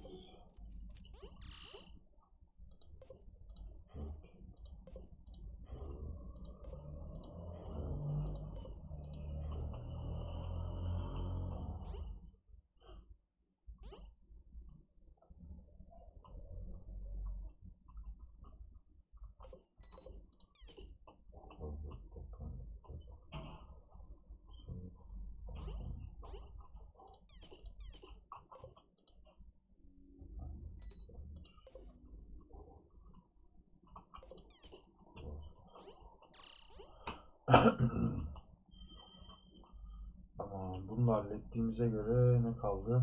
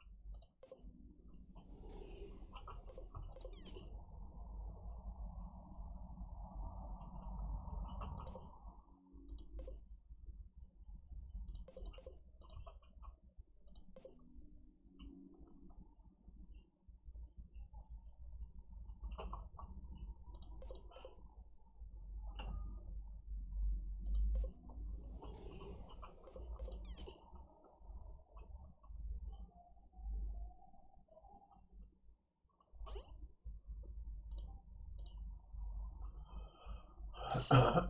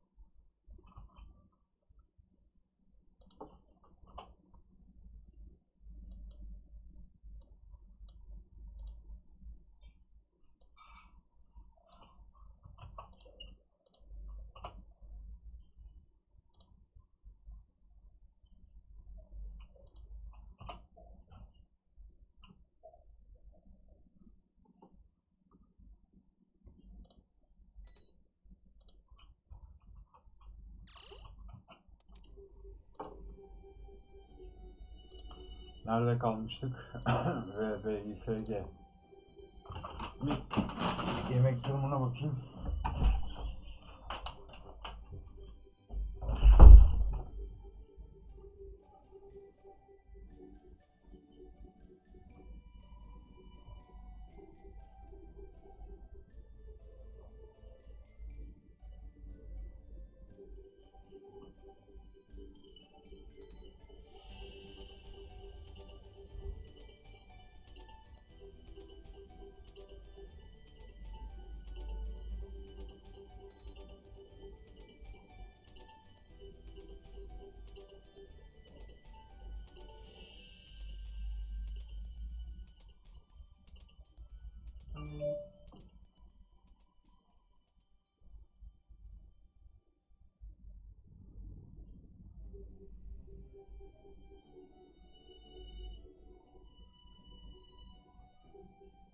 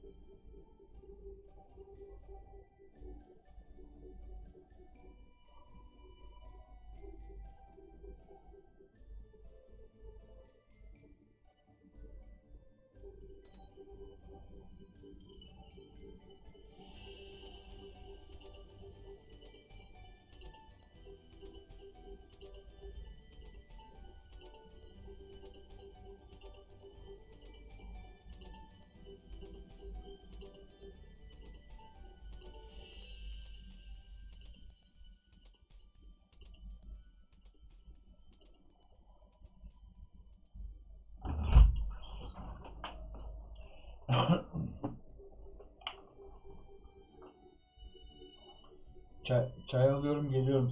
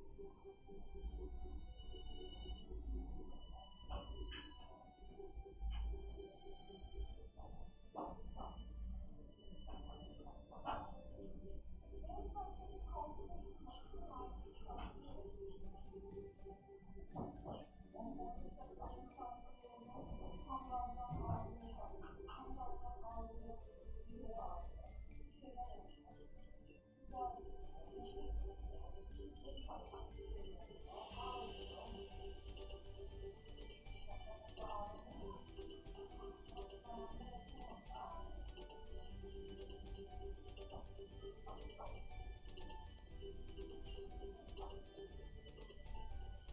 you.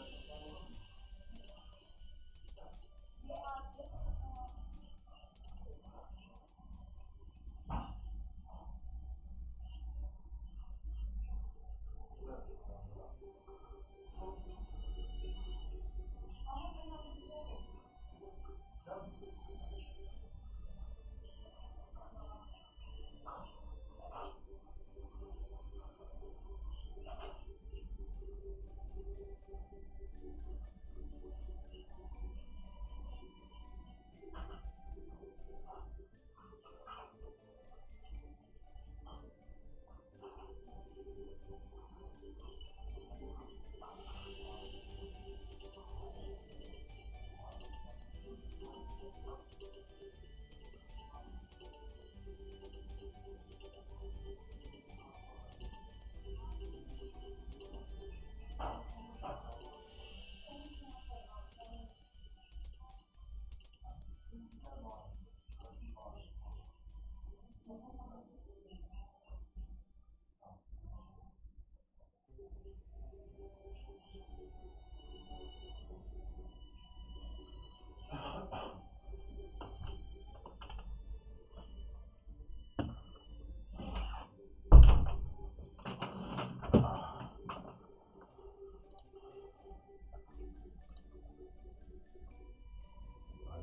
890 Hardware 90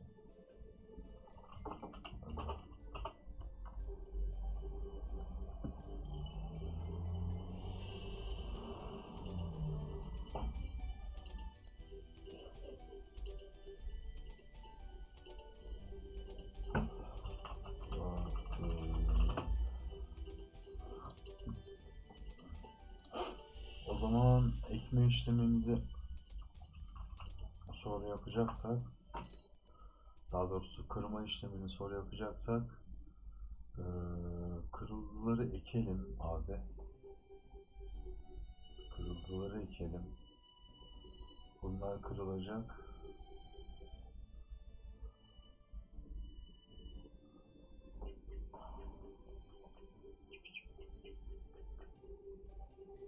Bir tane ekelim.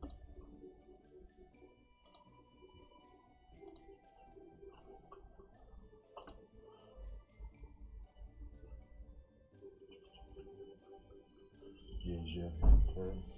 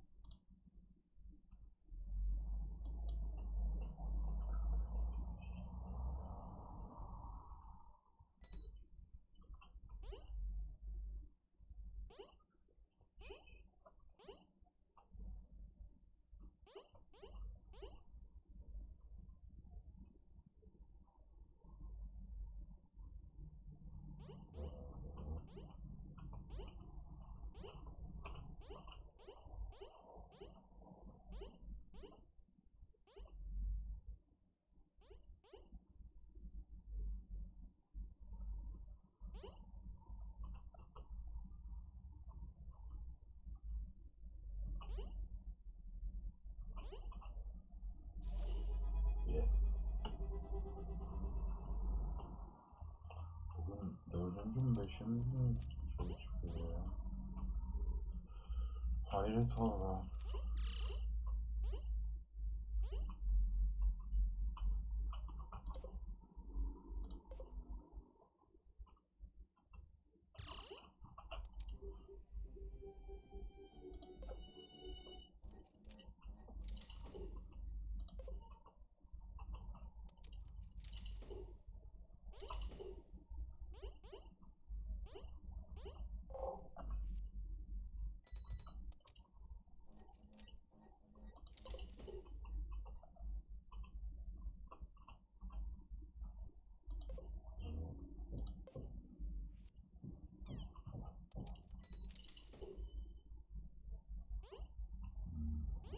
Şöyle yapalım.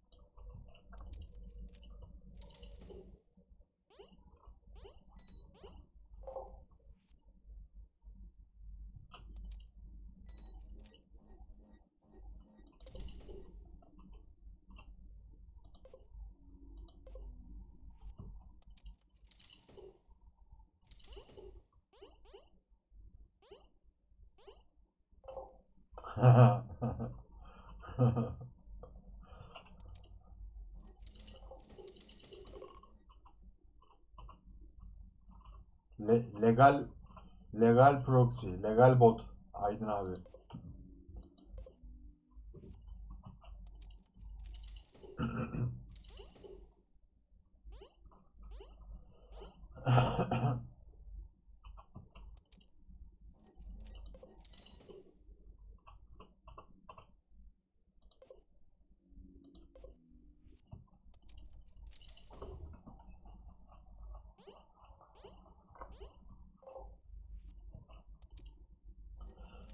Hadi gel ya özlettin kendini Kaan'cım.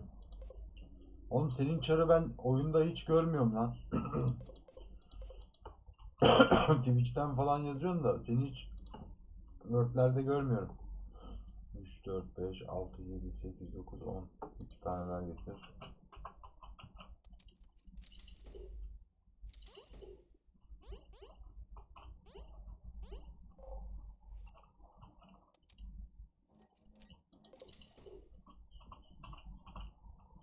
Sen ne yapıyorsun ki oyunda? En son 17 BGL falan sattım diyordun.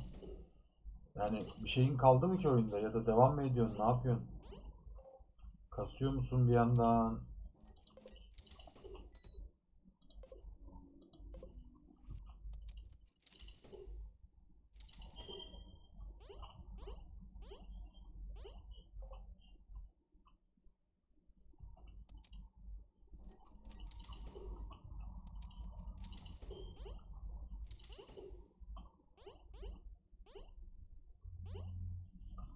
Ne yani şey olarak ne yapıyorsun?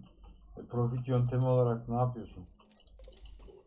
Farm yapmıyorsun herhalde. Al sat mı yapıyorsun ya da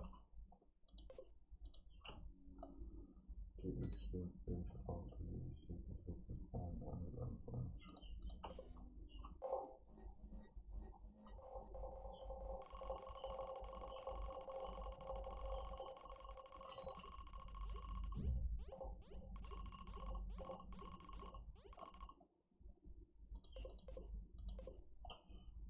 Düşüren çeşit taktık. Blow takacağız. Scam.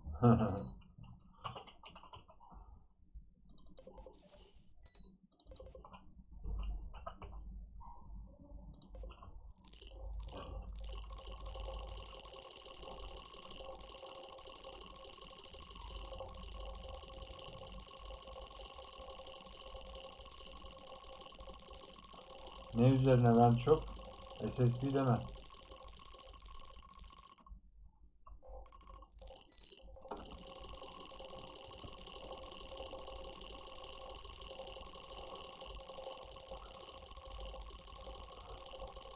Çok çorba gibi yapma ya. Uğraşamazsın onunla. Çok uğraştırır.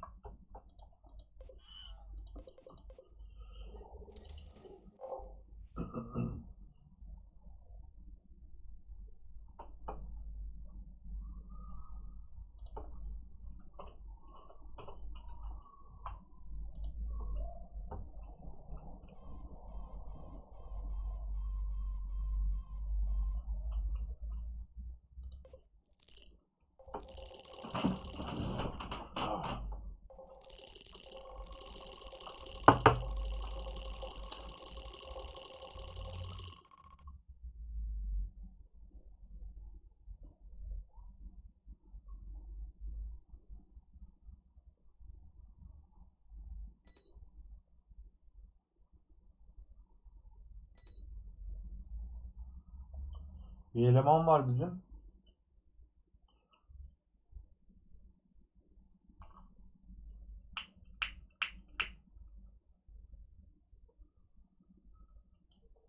Şey diyor.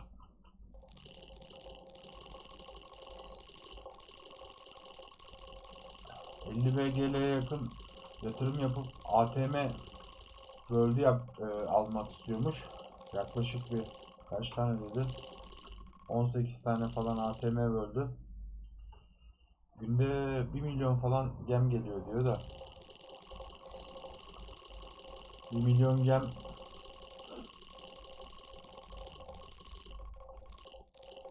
aslında fena bir rakam değil. 1 milyon gem güzel bir rakam da.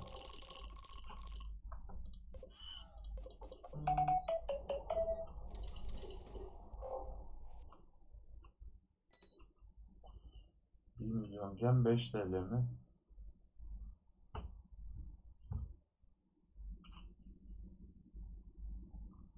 Nasıl 5 TL 1 milyon ya? Sen marketten VL almayı mı düşünüyorsun 1 milyon gemle?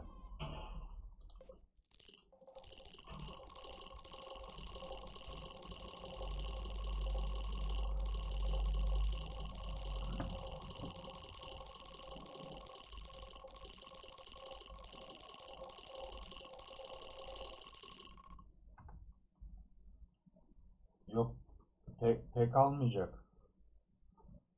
Şey alacak. İşte Valentine'da falan etkinlikte GBC alacak.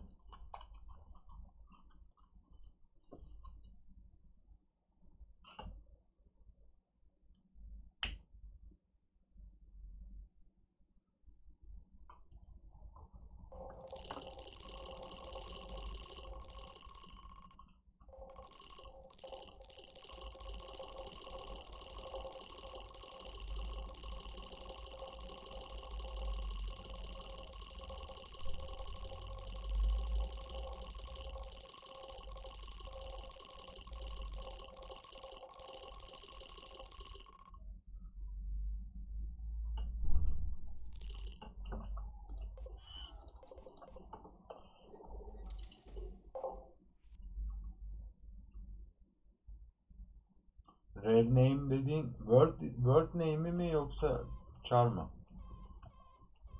Char değildir herhalde. O işler bayağı bir bilgi istiyor, tecrübe istiyor ya.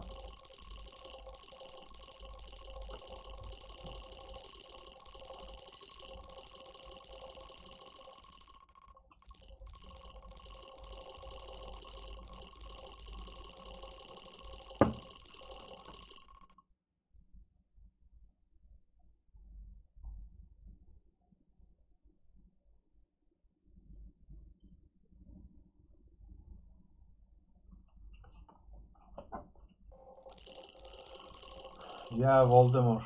I recycle.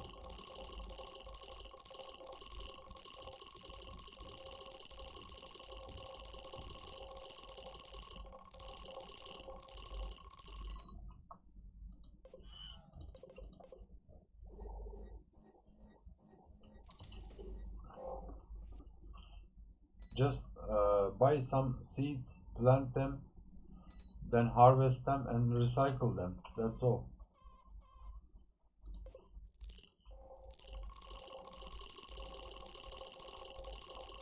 I I buy more.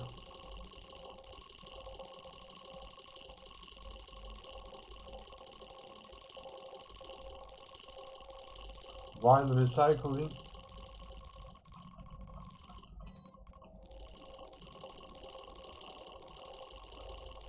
yeah, for the event.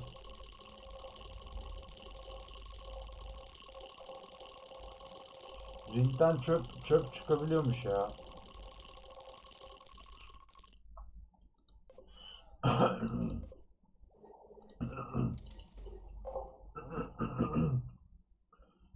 See in the event. But I'm calculating to gain like almost uh, more than three times.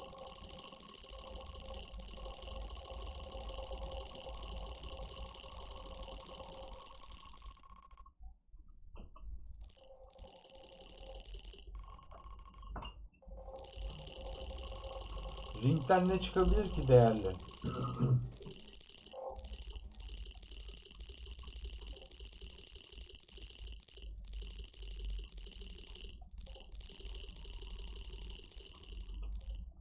Yeah, I can recommend because uh, in the events you can sell your gems like uh, exchanging your uh, on the market for some good items and sell it and earn some much more world locks.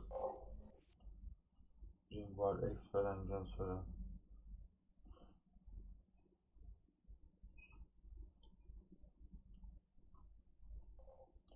But uh, you need to wait a little. At least uh, almost two months or four months for Winterfest or uh, Valentine's.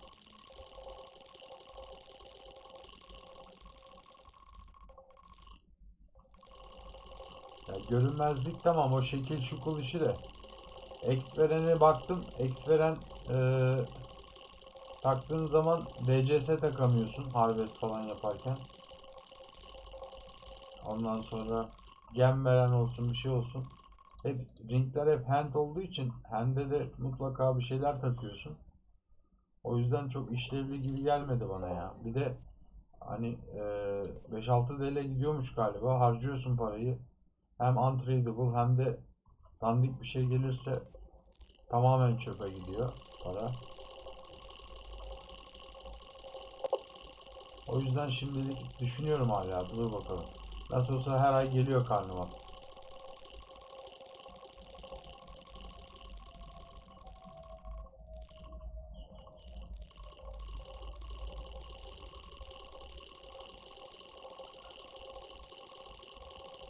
Hello Azozi, welcome. Ben aslında Karnaval'da shatter satmayı düşünüyordum da 3VL'den. Ee, ring ring questleri için Shatter geliyor ya görev olarak. Shatter satmayı düşünüyordum. Ama kristal stoğum yok şu anda. Bütün kristal stoğu banlıyken eridi.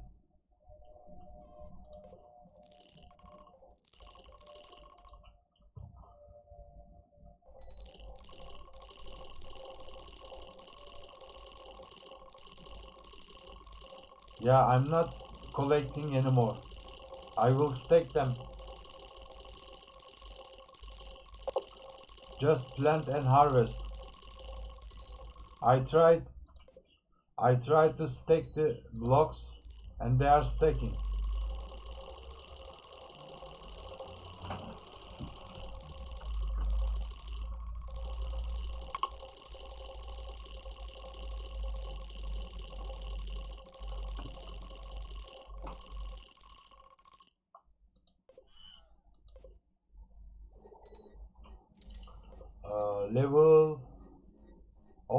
28. Today I gained all I gained like two two uh, three level. I was uh, 85 today and now almost I am 88.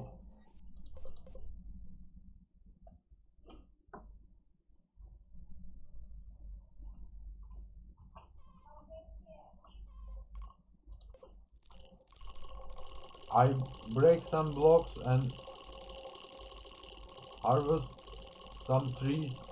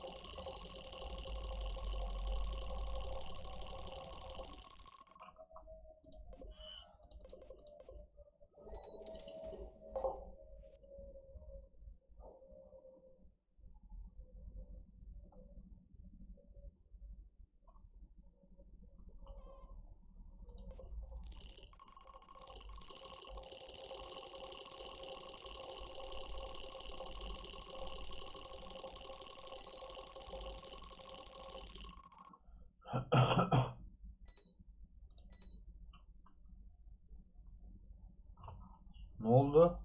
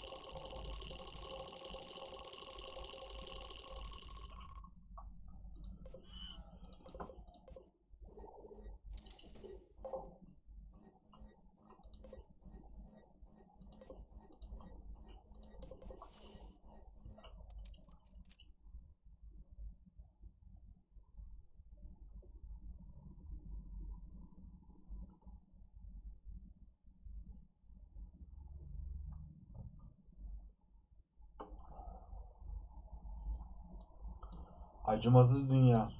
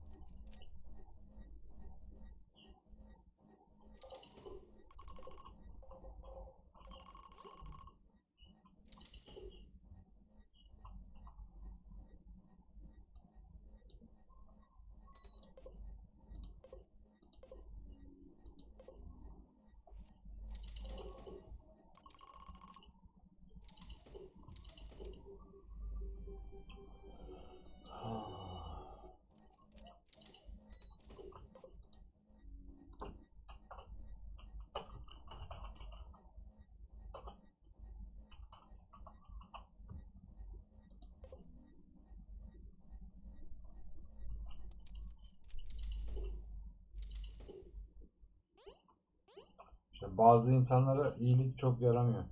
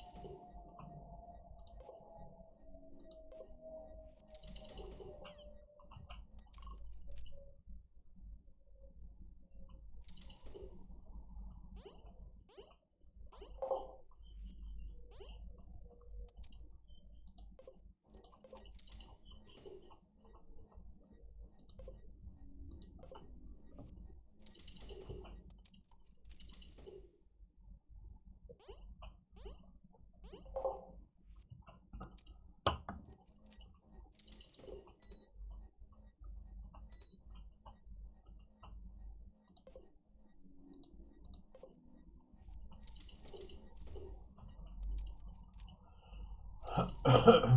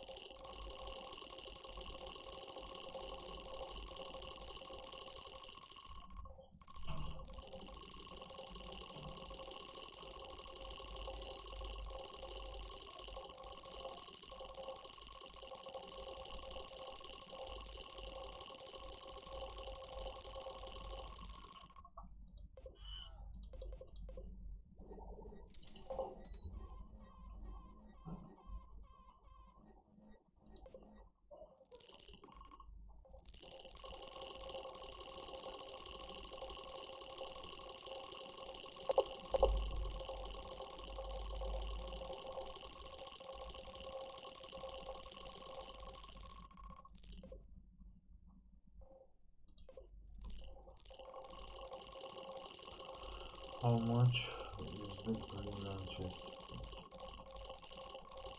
Green and chess is like almost four diamond block.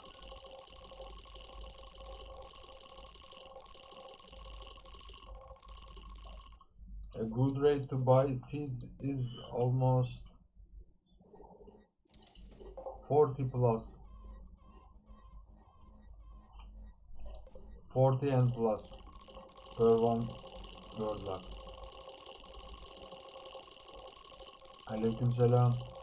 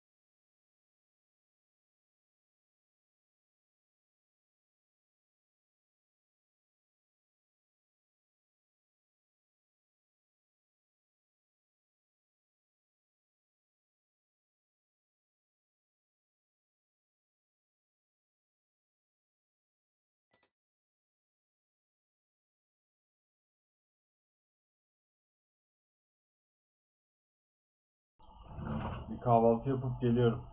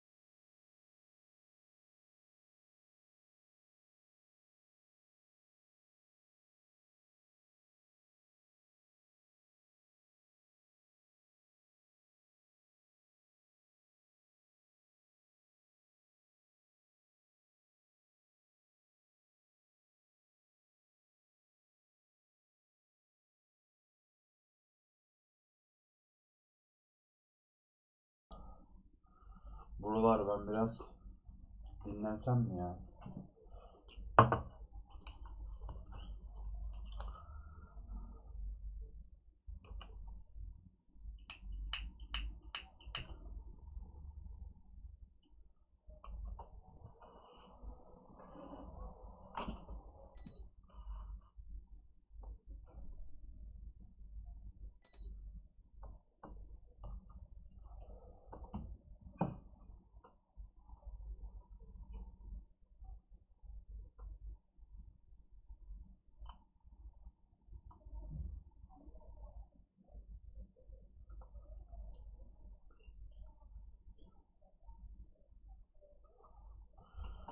I was eating dinner, Valdemar.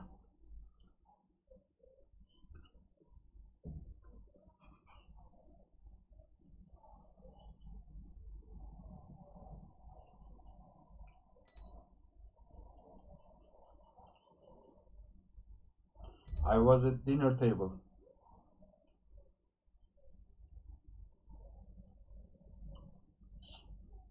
Just came back from eating.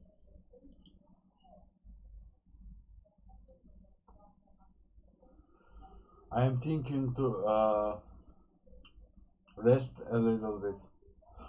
Maybe I close the stream for a few hours.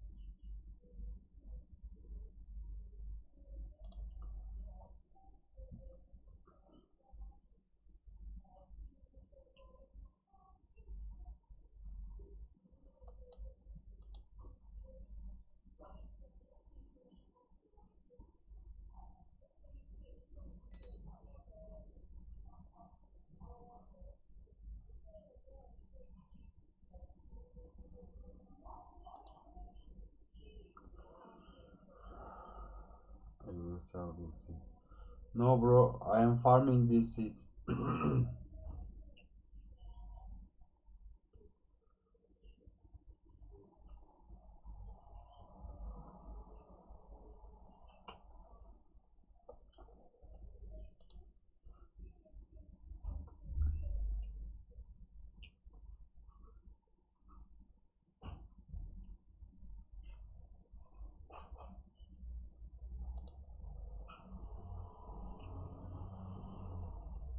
It depends of how many uh, farm I harvest per day. Not every every day is the same.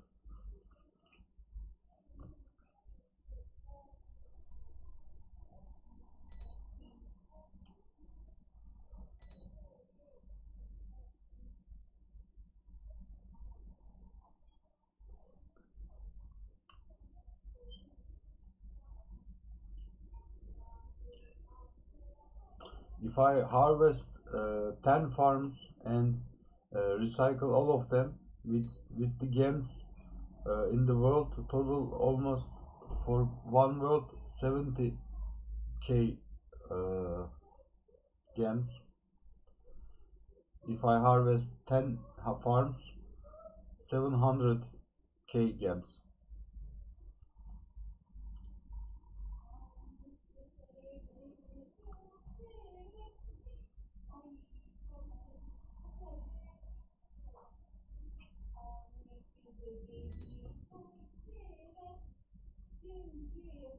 I'm not get bored too much. I like farming.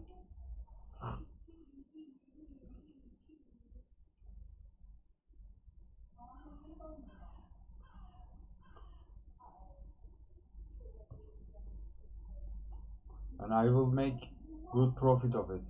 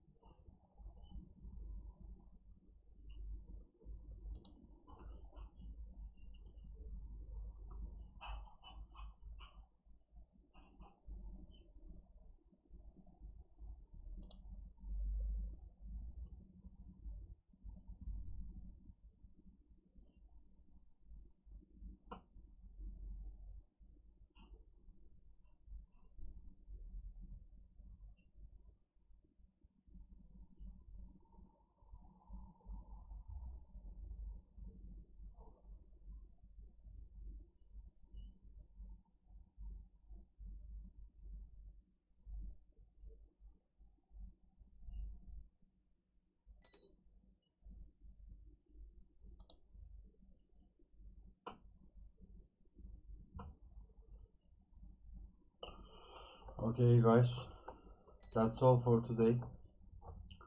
Thanks for watching. See you uh, later. I will get some rest and come back later. See ya.